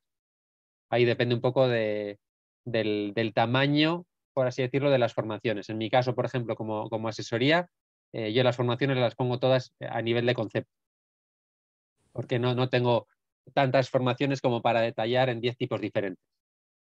¿vale? Eh, pero bueno, eso depende de cada proyecto. No sé si te respondo a la pregunta o... Sí, sí, sí, genial, muchas gracias. Ernesto.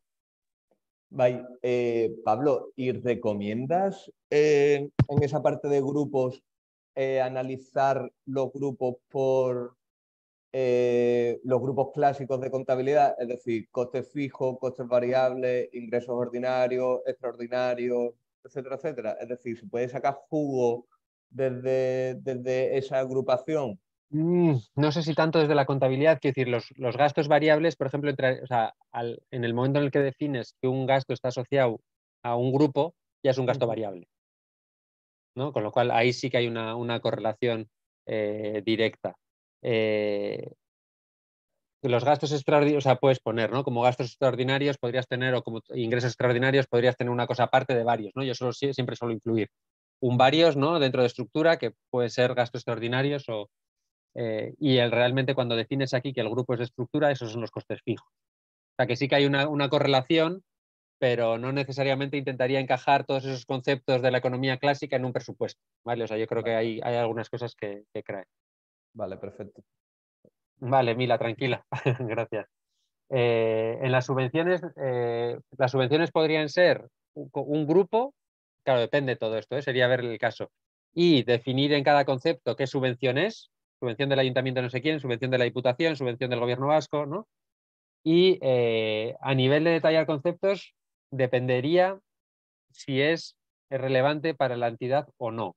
Y me, explico la subvención ya te obliga a hacer una, descripción pormenorizada de, gastos, ¿no? Entonces, igual la justificación de la subvención puede ir aparte y al presupuesto solo llevar el monto global del gasto, podría ser una opción. Si por lo que sea hay una subvención que te impacta directamente en tu día a día, entonces igual ahí sí que te merece la pena eh, detallar más.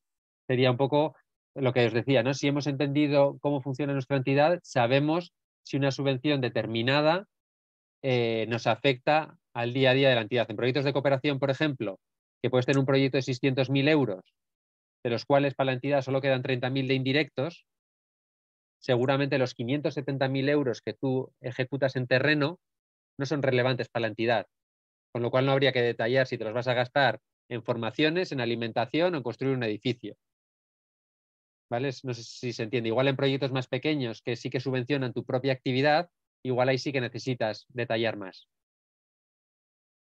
No sé si te contesto. Vale. ¿Alguna cosilla más? Vale. Pues vamos a por algún truco de contabilidad práctica, ¿vale? Em,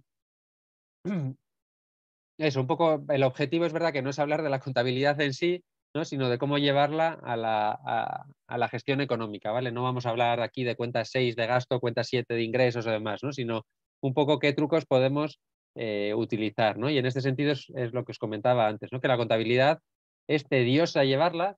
No sé si quien la, la ha llevado yo creo que, entiende esta parte de tediosa, ¿no? porque tiene que ir al céntimo, pero es muy rigurosa y nos da una tranquilidad absoluta de que las cuentas cuadran. ¿no? y formalmente es la única obligatoria, ¿no? con lo cual vamos a, vamos a aprovecharla. Y siempre lanzo la misma reflexión, aunque sea eh, muchas veces ir en contra de, mi propio tejado, ¿no? Por, el hecho de que ofrecemos servicio de asesoría, de que cuidado cuando externalizamos la contabilidad, ¿no? porque muchas veces estamos duplicando el trabajo. Estamos pagando una asesoría porque nos, porque nos lleve la contabilidad y a la vez estamos registrando todas y cada una de las facturas una o varias veces. ¿Vale? Porque esto luego en, entidades más grandes eh, he visto que la, la, persona que lleva administración y que está en contacto con la asesoría se hace su lista de facturas, pero luego la persona que lleva los proyectos se hace su propia lista de facturas de sus proyectos, ¿no? Y se duplica el trabajo de una manera ingente, ¿no? Entonces, bueno, la idea es como reflexionar un poco sobre cómo aprovechar esa contabilidad que o bien tenemos en interno o bien subcontratamos al servicio de la toma de decisiones. Vale, para mí es esto, es necesario apropiarse de la contabilidad y no vivirlo como algo ajeno.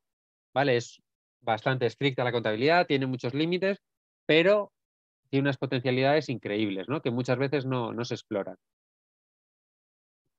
Eh, o sea, no hay trucos mágicos para, para, la contabilidad práctica, ¿vale? Yo os voy a contar aquí tres trucos que os he traído porque los he utilizado y me parece que han aportado eh, como bastante facilidad a, la organización pero puede haber miles, ¿no?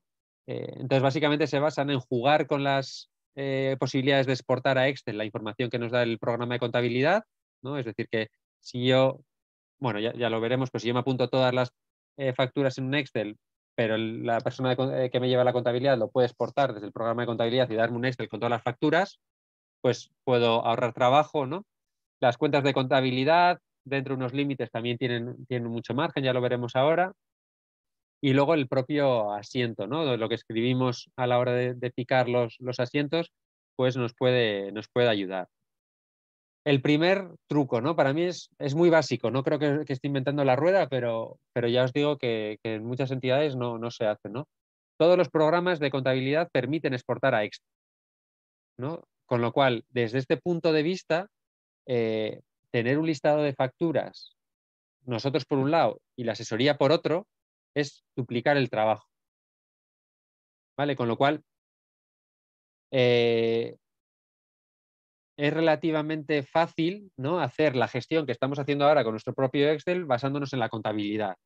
¿no? Incluso a nivel de cobros y pagos, eh, la contabilidad, si la llevas un poco eh, desglosada, eh, te permite exportar quién te ha pagado, quién no te ha pagado, incluso cuándo te ha pagado, ¿no? con, una revisión de mayores, por ejemplo. Entonces, poder tener ese control a partir de la, de la contabilidad, ¿no? exportando esa información a un Excel, seguimos trabajando con un Excel, que muchas veces es lo que nos sentimos más, más cómodas, pero al menos no tenemos que picar los datos. ¿Vale? Y además, eh, la mayoría de programas, un poco los que tienen las asesorías, me atrevería a decir que todas, pero incluso si lo tenemos nosotras instalado ¿no? y lo llevamos nosotras, permiten trabajar por secciones, proyectos o unidades. ¿no? Con lo cual es incluso hasta fácil poder exportar el listado de facturas para un determinado eh, proyecto. Esto puede ser muy útil para justificación de proyectos subvencionados, pero también puede ser muy útil para hacer cálculos de beneficio por proyecto, o sea, por, tipos de actividades. ¿no? Si yo me saco todas las facturas emitidas de la sección de formación y todas las facturas eh, recibidas de la sección de formación, yo puedo calcular más o menos rápido cuál es el margen que me deja la sección de formación, sin tener que volver a tirar de todas las facturas y demás, sino partiendo de la, de la contabilidad. ¿no? Entonces, eh, apropiarnos un poco de esa exportación del Excel, de toda la información de la contabilidad, para mí es, forma parte de, este empezar a utilizar la contabilidad para la, gestión económica. Entonces es verdad que nos tenemos que familiarizar con el lenguaje de la contabilidad, ¿vale? Y empezar a entender un poco cómo son los asientos, ¿no? ¿Qué es un asiento? ¿Cómo se exporta? ¿Cuáles son las cuentas contables? Si me tengo que fijar en la 629, si me tengo que fijar en la cuenta 400 de proveedores, bueno, un poco esto. Es verdad que tenemos que tener un mínimo de, manejo en el Excel, pero el ahorro de tiempo de no tener que picar todas las facturas dos veces es, muy importante. ¿Vale? Y es una información que, ya está. Otro, otro, truco tiene que ver con aprovechar las posibilidades de la contabilidad, ¿no? Que es, claro, la contabilidad, así a grandes rasgos, ¿no? Tiene, puede tener cuentas de 6 o 8 dígitos, ¿no? Puede ser la 640 es el gasto de personal ¿vale? Pero normalmente al balance y a la, cuenta de resultados solo llevamos eh, las tres primeras o a veces las cuatro, pero generalmente las tres primeras, ¿no? Con lo cual todo eso nos deja pues un montón de cifras que podemos utilizar para hacer ajustes o para hacer cálculos internos. Por ejemplo, eh, si yo quiero diferenciar cuál es el, el, coste de personal de estructura y cuál es el coste directo asignado a una actividad concreta, yo, ya sea en interno o a la asesoría, le puedo decir, oye, impútame esta nómina, impútamela a la 640000, pero esta a la 640001. ¿Vale? Y cuando me exporto la información de contabilidad, yo ya puedo saber, sin tener que hacer ningún cálculo, cuáles son mis gastos de estructura, por ejemplo. Si esto lo he aplicado con todas las cuentas de gasto, ¿no? yo puedo utilizar la cuenta 600 un poco de compra de materiales, tanto para eh, para todos los proyectos o la podría separar por proyecto. Entonces, cuando me saco la información de contabilidad, si yo he hecho ese trabajo previo, decir, no, voy a imputar cada gasto a una cuenta contable concreta, el análisis que puedo hacer de esa contabilidad es muchísimo mayor. ¿Vale? Normalmente cuando hago cambios de asesoría, en muchos casos, claro, a la, asesoría, si no nos dais información, nosotros muchas veces lo hacemos a lo, a lo, más sencillo, ¿no? Es decir, todo el personal a las 6.40 pues no, está mal aplicado, ¿no? Contablemente está bien y para la asesoría le vale para, eh, eh, para cumplir con las obligaciones formales de la contabilidad, pero igual no está respondiendo a una necesidad del proyecto, ¿no? Eh, entonces, bueno, esta opción existe, ¿no? Los viajes lo mismo, ¿no? Podemos separar los viajes de proyectos, por ejemplo, que están subvencionados con los que no están subvencionados y tener esa información directamente desde la, desde la contabilidad los ingresos, ¿no? La 705 es la clásica de, de ingresos por servicios. Si yo separo ya por las líneas que he definido en mi presupuesto, por ejemplo, luego a la hora de hacer la revisión del presupuesto es mucho más sencillo llevar los datos.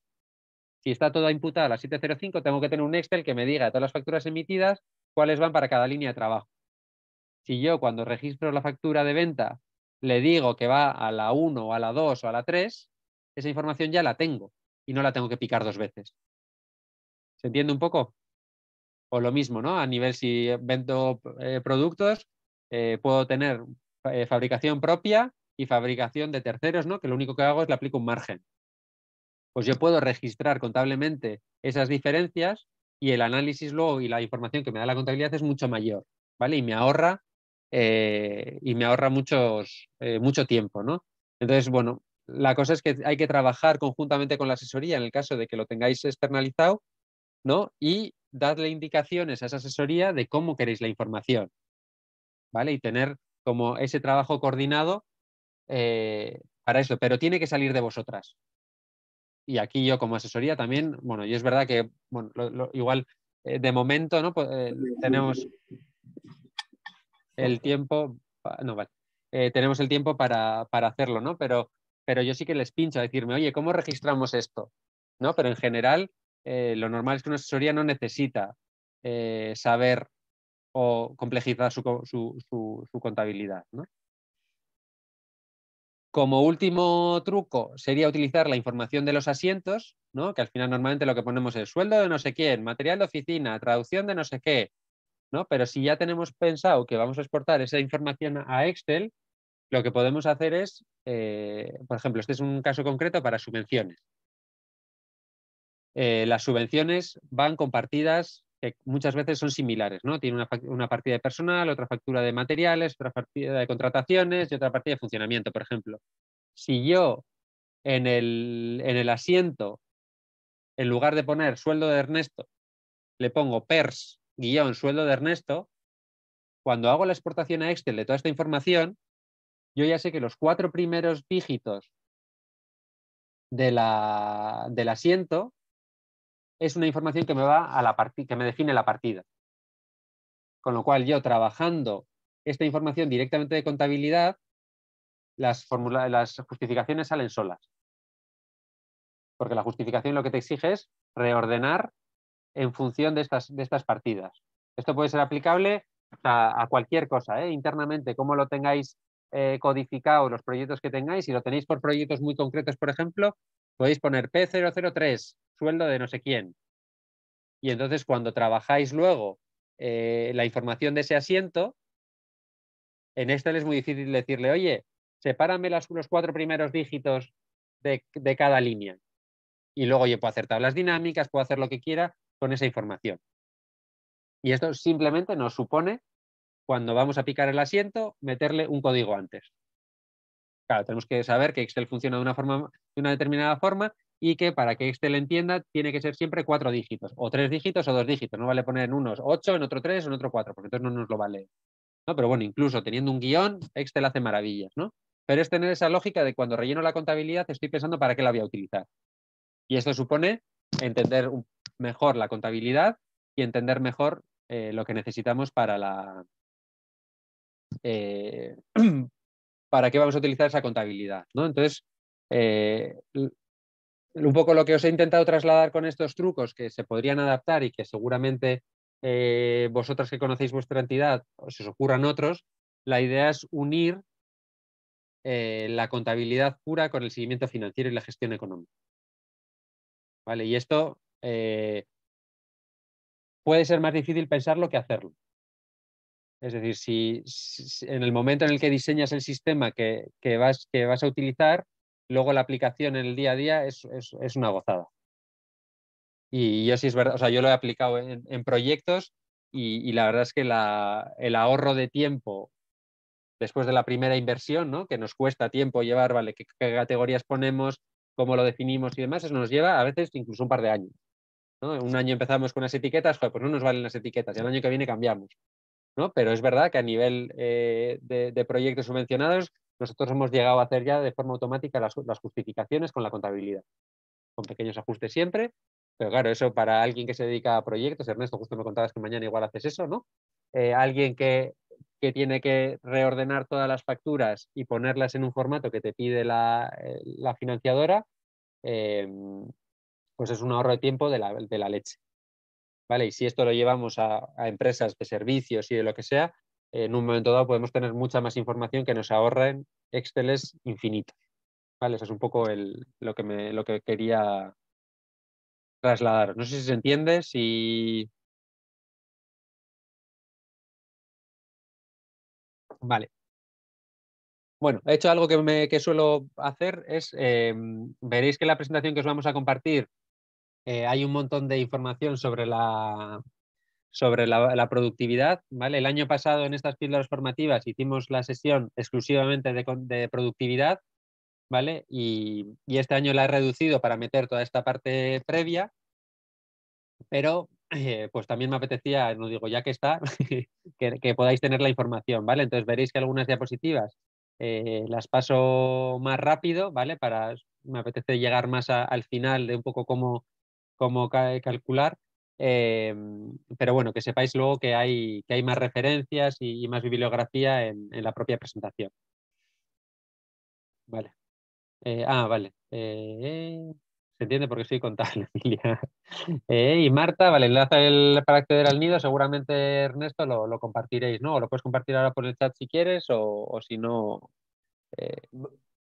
Vale, vale, pues mira, os paso el link ya por el chat y luego me, había preguntado Ramón al inicio que se había perdido un poco con el tema del foro, que no, la, no, ha podido verlo cómo, llegar hasta allí, así que haremos una breve explicación de nuevo al final, ¿vale? Vale, perfecto. Dejo ahí cinco minutillos.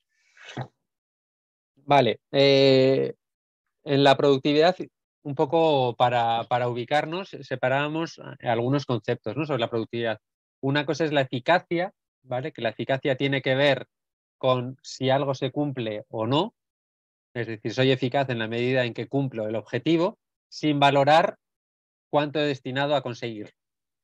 ¿Vale? Es la eficiencia eh, la que requiere en primer lugar ser eficaz, ¿no? pero luego mido los recursos que he utilizado, es decir, quiero conseguir algo con el menor uso de recursos posibles. Vale, esto en una charla que también planteé esta diferencia, eh, me dijeron que en, que en Deusto, en en la escuela de negocios de, aquí, ¿no? Más de la capitalista, les dijeron que las empresas se habían dado cuenta que muchas veces era mejor no ser eficaz para ser eficiente. ¿no? Y entonces ponían el ejemplo de todos los servicios de atención al cliente, de reclamaciones y demás, que no pretendían ser eficaces, es decir, no pretendían dar un buen servicio, sino pretendían hacerlo con el menor coste posible y sin que se notara demasiado. ¿Vale? Pero bueno, en una lógica un poco no, no tan agresiva, la idea de la eficacia es cumplir el objetivo y la eficiencia es cumplirlo em, eh, con el menor uso de recursos posibles. ¿no? Os dejo aquí una referencia sobre la, diferencia de ambas. Eh, la productividad lo que se define es como una medida que calcula cuántos bienes y servicios se han producido por un factor de producción en un periodo determinado. ¿no? Es decir, un, es un valor absoluto que se calcula en base a un factor de producción en un tiempo determinado. 30.000 euros empleada y año, ¿no? Es un, es un, indicador que se suele utilizar. ¿Cuánto genera cada trabajadora? O en una línea puedo sacar 70.000 tornillos al mes. O una persona en una hora puede hacer seis bolsos. ¿no? Al final se trata siempre de confrontar tres datos. Un valor absoluto, un factor de producción y un, y un tiempo determinado. Eh, hacíamos una reflexión ¿no? sobre si tiene sentido hablar de productividad ¿no? y cómo a veces nos cuesta eh, pues entender ¿no? que es un invento capitalista, que siempre intenta sacar, ¿no? de exprimirlo todo lo que nos saca de nosotros, que es compleja de medir, ¿no? siempre lo vemos ahí. Pero este señor eh, dice que la productividad no lo es todo, ¿no? pero que en el largo plazo lo es casi todo, ¿no? en esa versión a largo plazo. ¿no? Y este señor es Paul Krugman, que es un premio Nobel de Economía, pero no es especialmente sospechoso de ser un capitalista acérrimo, ¿no? sino que defiende la, banda, la, la banca pública, incluso las cooperativas de viviendas o enfrentar eh, la, el cambio climático también desde la economía. ¿no? Entonces, eh, hablar de productividad en economía social y solidaria para mí es necesario ¿no? y tiene que ver también un poco con eh, ofrecer el mejor servicio posible tanto a las clientas ¿no? como interna, internamente. es decir, si yo soy mucho más productivo, si soy más eficiente, lo que puedo hacer es seguramente mejorar mi propia vida. ¿no? Aparte de ofrecer un servicio de calidad y a un precio ajustado, puedo mejorar mi, propia vida. Eh, lo mismo a nivel ambiental, ¿no? buscar la eficiencia puede suponer un menor uso de, recursos y luego tener en mente esa idea de, eh, la toma de, de, decisiones, o sea, esta idea de la productividad me va a ayudar a tomar decisiones para consolidar el proyecto. ¿no? Eh, y esto la, productividad se puede medir, en, o sea, se puede llevar a, un grupo de consumo, se puede llevar a una subvención, se puede llevar a cualquier ámbito. Eh, por lo tanto, ¿tiene sentido hablar de la economía, eh, de la productividad en la economía social y solidaria? Sí, ¿no? Y aquí vuelvo a la parte como hablar de la, de la economía, ¿no? Vamos a quitarnos los complejos y vamos a intentar mejorar al 100% todo lo que es nuestra productividad dentro de unos límites, ¿vale? Sin, salpicar al resto, para ofrecer el mejor servicio posible. Em, en definitiva, mejorar la productividad supone, ¿no? dentro de esa definición que hemos definido, fabricar una mayor cantidad de productos con los mismos medios o fabricar lo mismo con menor gasto de recursos. ¿no? Esto lo podemos enfocar eh, con, de la forma en que queramos. ¿no? Y un poco la duda razonable que nos surge es qué podríamos hacer con esa ganancia de productividad. ¿no? Si la enfocamos eh, a, lucrarnos ¿no? y a mejorar nuestros beneficios o la enfocamos a ganar en calidad de vida y en servicio prestado. ¿no? Pero, pero en definitiva, mejorar la productividad no es intrínsecamente malo ni intrínsecamente capitalista. ¿Cómo podemos mejorar la, productividad? Bueno, revisando todos nuestros procesos ¿no? y mejorando la, eficiencia, ¿no? ya sea la eficiencia personal en, cómo dedicamos nuestro tiempo eh, en el día a día, ¿no? o a la eficiencia de procesos, ¿no? que hay un montón de, herramientas que, os comparto ahí.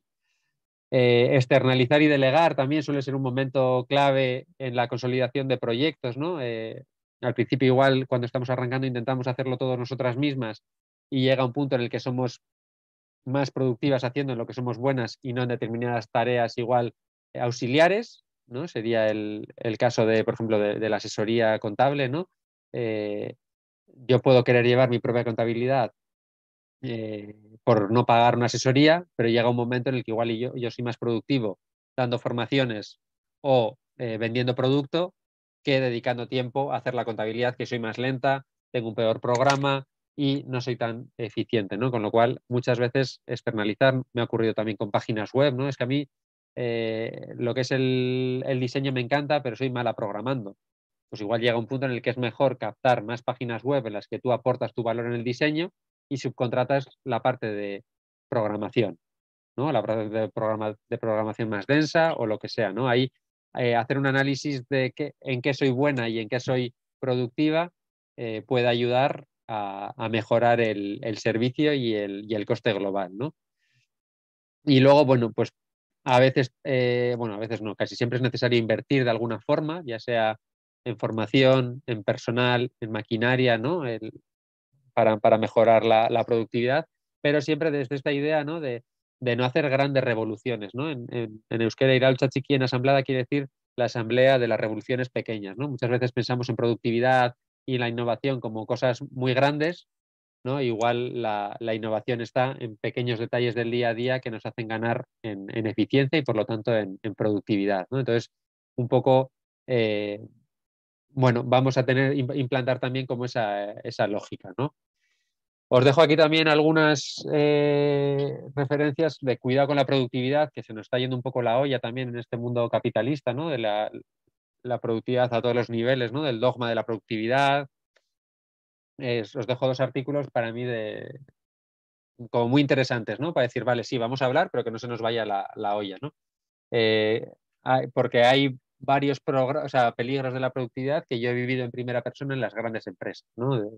Eh, desde conflictos entre, entre equipos, crear una cultura de la no colaboración, eh, aumentar los gastos porque empiezo a, medir la productividad y entonces me cuesta más medir la productividad que lo que realmente gano habiendo mejorado esa productividad. Bueno, hay una serie de, peligros que conviene tener en cuenta, ¿no? Y un poco eh, la forma un poco de contrarrestar estos peligros de la productividad eh, iría un poco con no olvidarnos de la centralidad de la vida, es decir, preguntarnos en todo lo que hacemos si estamos teniendo en cuenta que somos personas más allá de máquinas, ¿no? Y, que muchas veces también pues, el compromiso, la creatividad no caben en valores absolutos como los define la, productividad, ¿no? Con lo cual vamos a utilizarla pero, pero con cabeza. Y luego que la, que la medición de la productividad no nos lleve ¿no? a cargarnos la, cooperación, ¿no? Y aquí esta es otra charla que os recomiendo eh, fervientemente porque dice cosas muy, muy interesantes, ¿no? incluida como que cuando la gente no coopera no culpemos a las personas o a su mentalidad, sino que veamos las condiciones y el ambiente de trabajo. ¿no? Vayamos más allá de que muchas veces nos decimos que los seres humanos somos eh, egoístas o somos eh, independientes, pero lo, que ocurre muchas veces es que lo que hacemos es metemos una caja de zapatos a 10 personas para conseguir unos objetivos que son contra, contrarios entre sí, ¿no? Entonces, claro, la gente no coopera. bueno, pues, pues cooperar, eh, como dice este, este hombre, ¿no? Asumes un riesgo en la cooperación, ¿no? Porque en lugar de dar lo mejor de ti únicamente, estás pensando en lo mejor del equipo. Y eso muchas veces pues, pues nos cuesta. ¿no? Así que eh, creo que no es muy larga la, charla y, sí que me, pareció. Vale, ¿cómo medimos la, productividad en, en, un proyecto? Bueno, es el, camino sería como partir siempre de, un punto de partida, es decir, no empezamos a medir ya, sino que necesitamos hacer un, eh, un análisis ¿no? de cuál es el momento actual de la empresa, ¿no? cuánto produce al año, cuál es el resultado del último ejercicio, cómo es la cartera de clientes, ¿no? hacer eh, un análisis que nos permita establecer unos objetivos, ¿vale?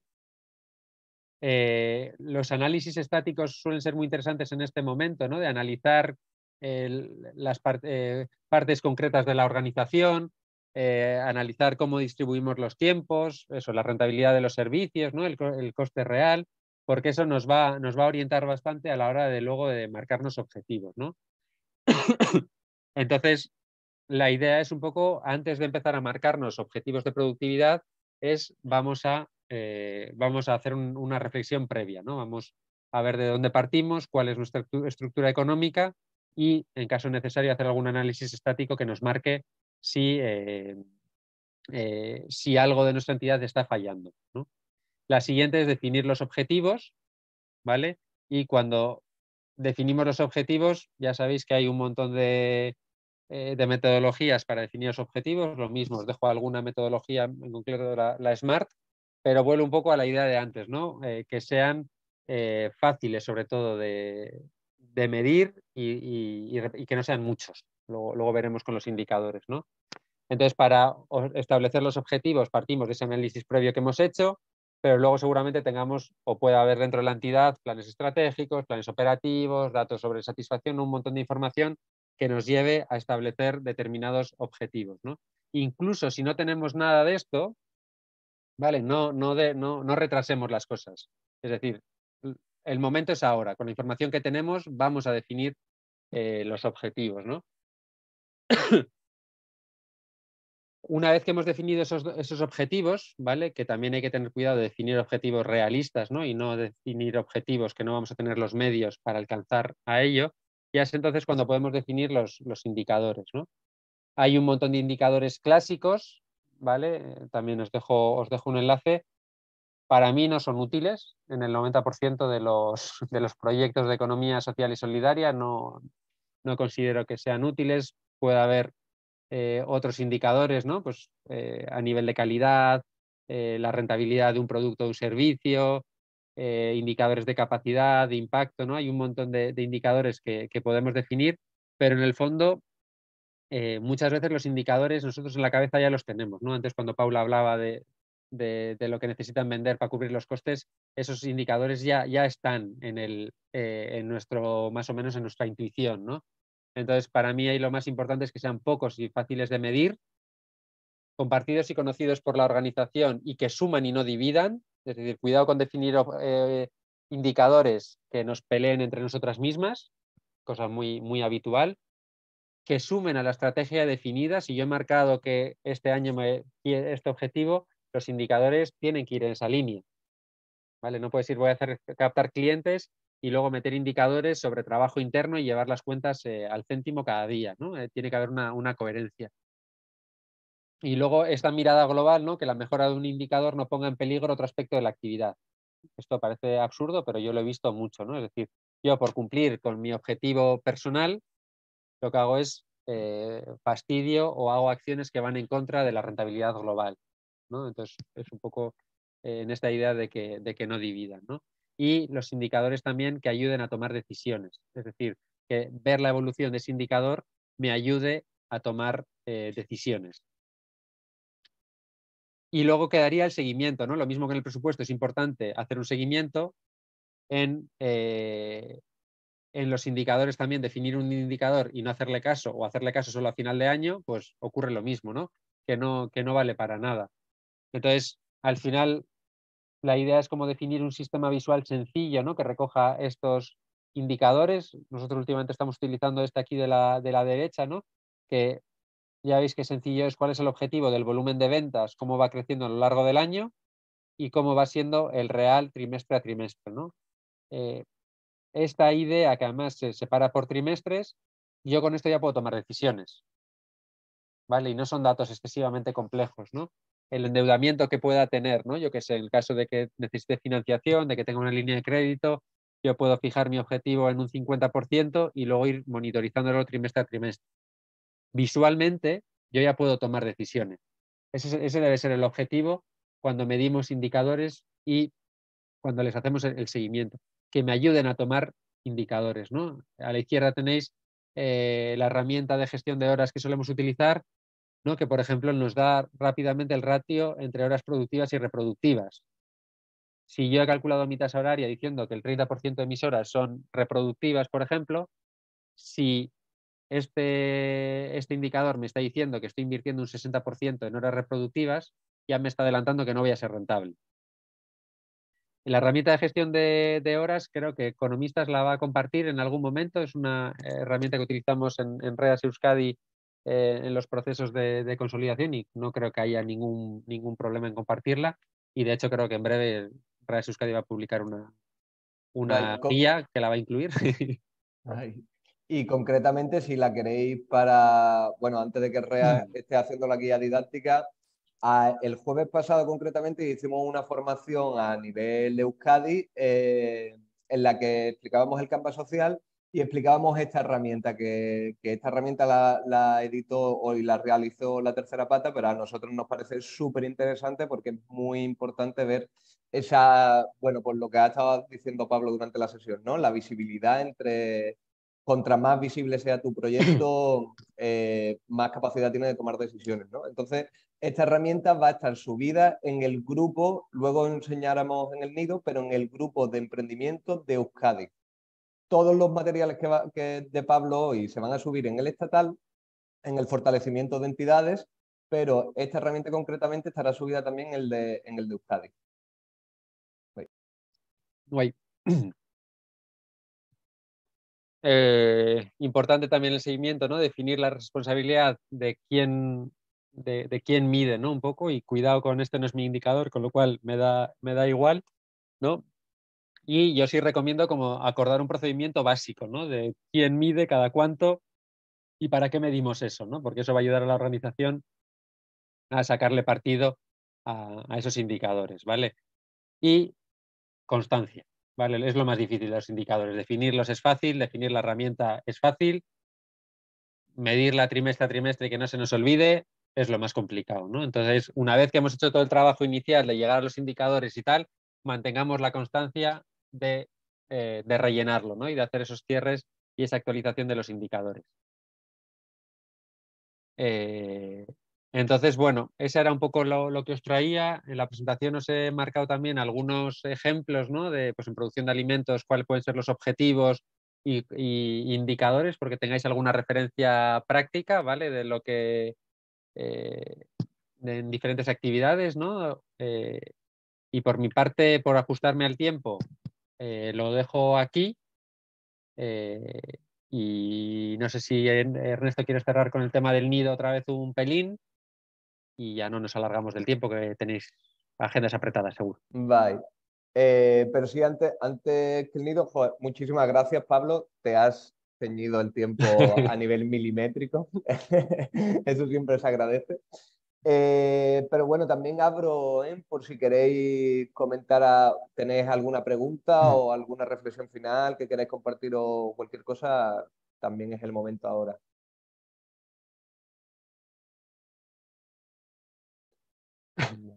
Parece que no. Eh, sí, vale, genial. Adelante.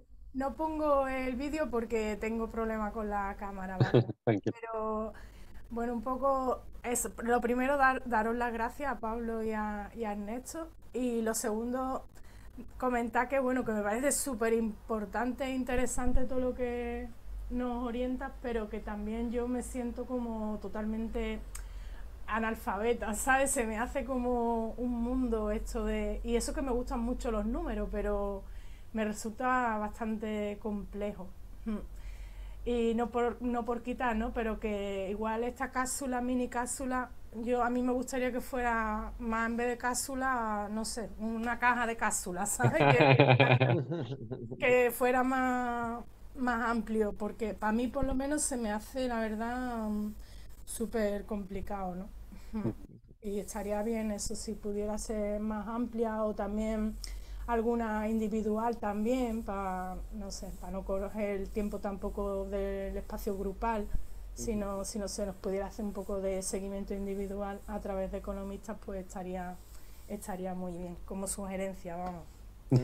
Es que ricasco pues, muchísimas gracias Laura. Sí que es verdad que nosotras concretamente tenemos un eh, que quedar ya que hace tiempo que que no nos vemos y tenemos que retomar tu proyecto y, ahí pues sí, pues, pues todas las dudas que tengas tía, con la contabilidad y con estos pasitos hacia la gestión, eh, súper adelante.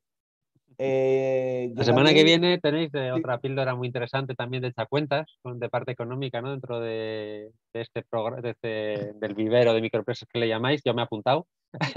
creo que se llama Hecha Cuentas también y yo creo que hay eh, eh, también se va a hablar bastante de, la cuenta de resultados y, definir costes fijos y variables, que igual hoy no he hablado porque en principio había esa otra sesión, así que bueno, oye, mm. publicidad también interna de, la próxima sesión a la que yo me he apuntado, ¿eh? que no sé si podré escucharla al final, pero tiene, tiene muy buena pinta. había por el chat, aparte de las gracias que se, agradecen, eh, una pregunta sobre los programas de, contabilidad. El, para economía social yo no conozco ninguno en concreto, al revés. Eh, me suelo encontrar con que hay que adaptar los programas de contabilidad al uso al plan contable de, entidades sin, fines lucrativos. Eh, yo con el que más he trabajado a través de, otros, de otras entidades es con el Diamacon y sí que permite trabajos por, secciones. Es decir, que el Contaplus, ahora me entra la duda, pero yo juraría que también... Eh, eh, que también lo, permite. Entonces, no, no, se trata tanto de que esté adaptado em, a, es? A, la, a, la, economía social, sino que muchas empresas capitalistas necesitan eh, también gestionar sus proyectos por, por secciones. Entonces, suele ser una herramienta hábil. Si por lo que sea no tiene el programa de contabilidad la opción de secciones, es lo que os comentaba, ¿no? Tanto con la información del asiento como con las cuentas contables, se puede utilizar y se puede sacar esa información. Es decir, yo puedo meter en la 640 todos los salarios que vayan a este proyecto, en la 641 eh, a este otro proyecto, 642 a este otro proyecto. Entonces, incluso si el programa de contabilidad no tiene em, el, ¿cómo es? No tiene esa opción de, secciones, hay, hay, otra vía. Nosotras, eh, no, te digo cuál utilizamos porque utilizamos uno propio. es, eh, la tercera pata nosotros desarrollamos un, un Excel eh, que sirve de contabilidad y que nos permite también este cálculo por, por secciones y por rentas exentas y no exentas. Bueno, viendo un poco que no nos apañábamos con ninguno al uso, desarrollamos el, el, nuestro, el nuestro propio. Entonces, bueno, no está a la venta, por así decirlo. No se puede descargar de ninguno. Os he puesto por el chat eh, el enlace a la siguiente píldora que habéis estado preguntando por ahí, ¿vale? Para que podáis, para que podáis echarle un vistazo. Y vale, no sé si hay más preguntas. Eh, si no, si no, no se nos queda nada, voy a enseñaros de nuevo muy brevemente, ¿vale? Eh, dónde se van a subir la, la, formación y los recursos. Y con ello tenemos. A ver. Eh, dejo de compartir, ya no estoy compartiendo. Ah, sí, sí, estoy compartiendo, ¿no? eso es. En la presentación tenéis el correo electrónico y la página web, ¿vale? Que, que en cualquier momento, ya sea a través de economistas o, directamente nos podéis escribir, dudas concretas o lo que sea. bueno, somos una asesoría, pero es verdad que también tenemos como esa parte asociativa ¿no? de fortalecer las entidades del sector, con lo cual trabajamos bastante con esas dudas concretas que puedan surgir. No, dudéis en escribirnos si necesitáis. Nos pide Patricia si le puedes poner el nombre del programa que has comentado. Eh, Diamacon. Ay, espera, que solo lo había escrito a mí la de todos. El Diamacon se llama. Eh, eh, sí, luego tiene el Diamacon, yo creo que es el de contabilidad. Luego hay, hay Diamages, hay otras historias, pero hay ese, lo único es que es muy caro. Yo no lo tengo personalmente, entre otras cosas, porque igual para una asesoría puede compensar, para una empresa pequeña, privada, son carísimos los programas de contabilidad. Mm. Vale, chicas, pues voy a compartir pantalla. Eh, a ver. Eh, eh, vale. Vale, en esta pantalla sería la pantalla de inicio del nido. Ya también deciros que sin registraros en la propia pantalla de inicio tenéis abajo todas las herramientas, bueno, algunas herramientas que hemos decidido poner como de cabecera y que las tenéis por, para diferenciar por, categorías.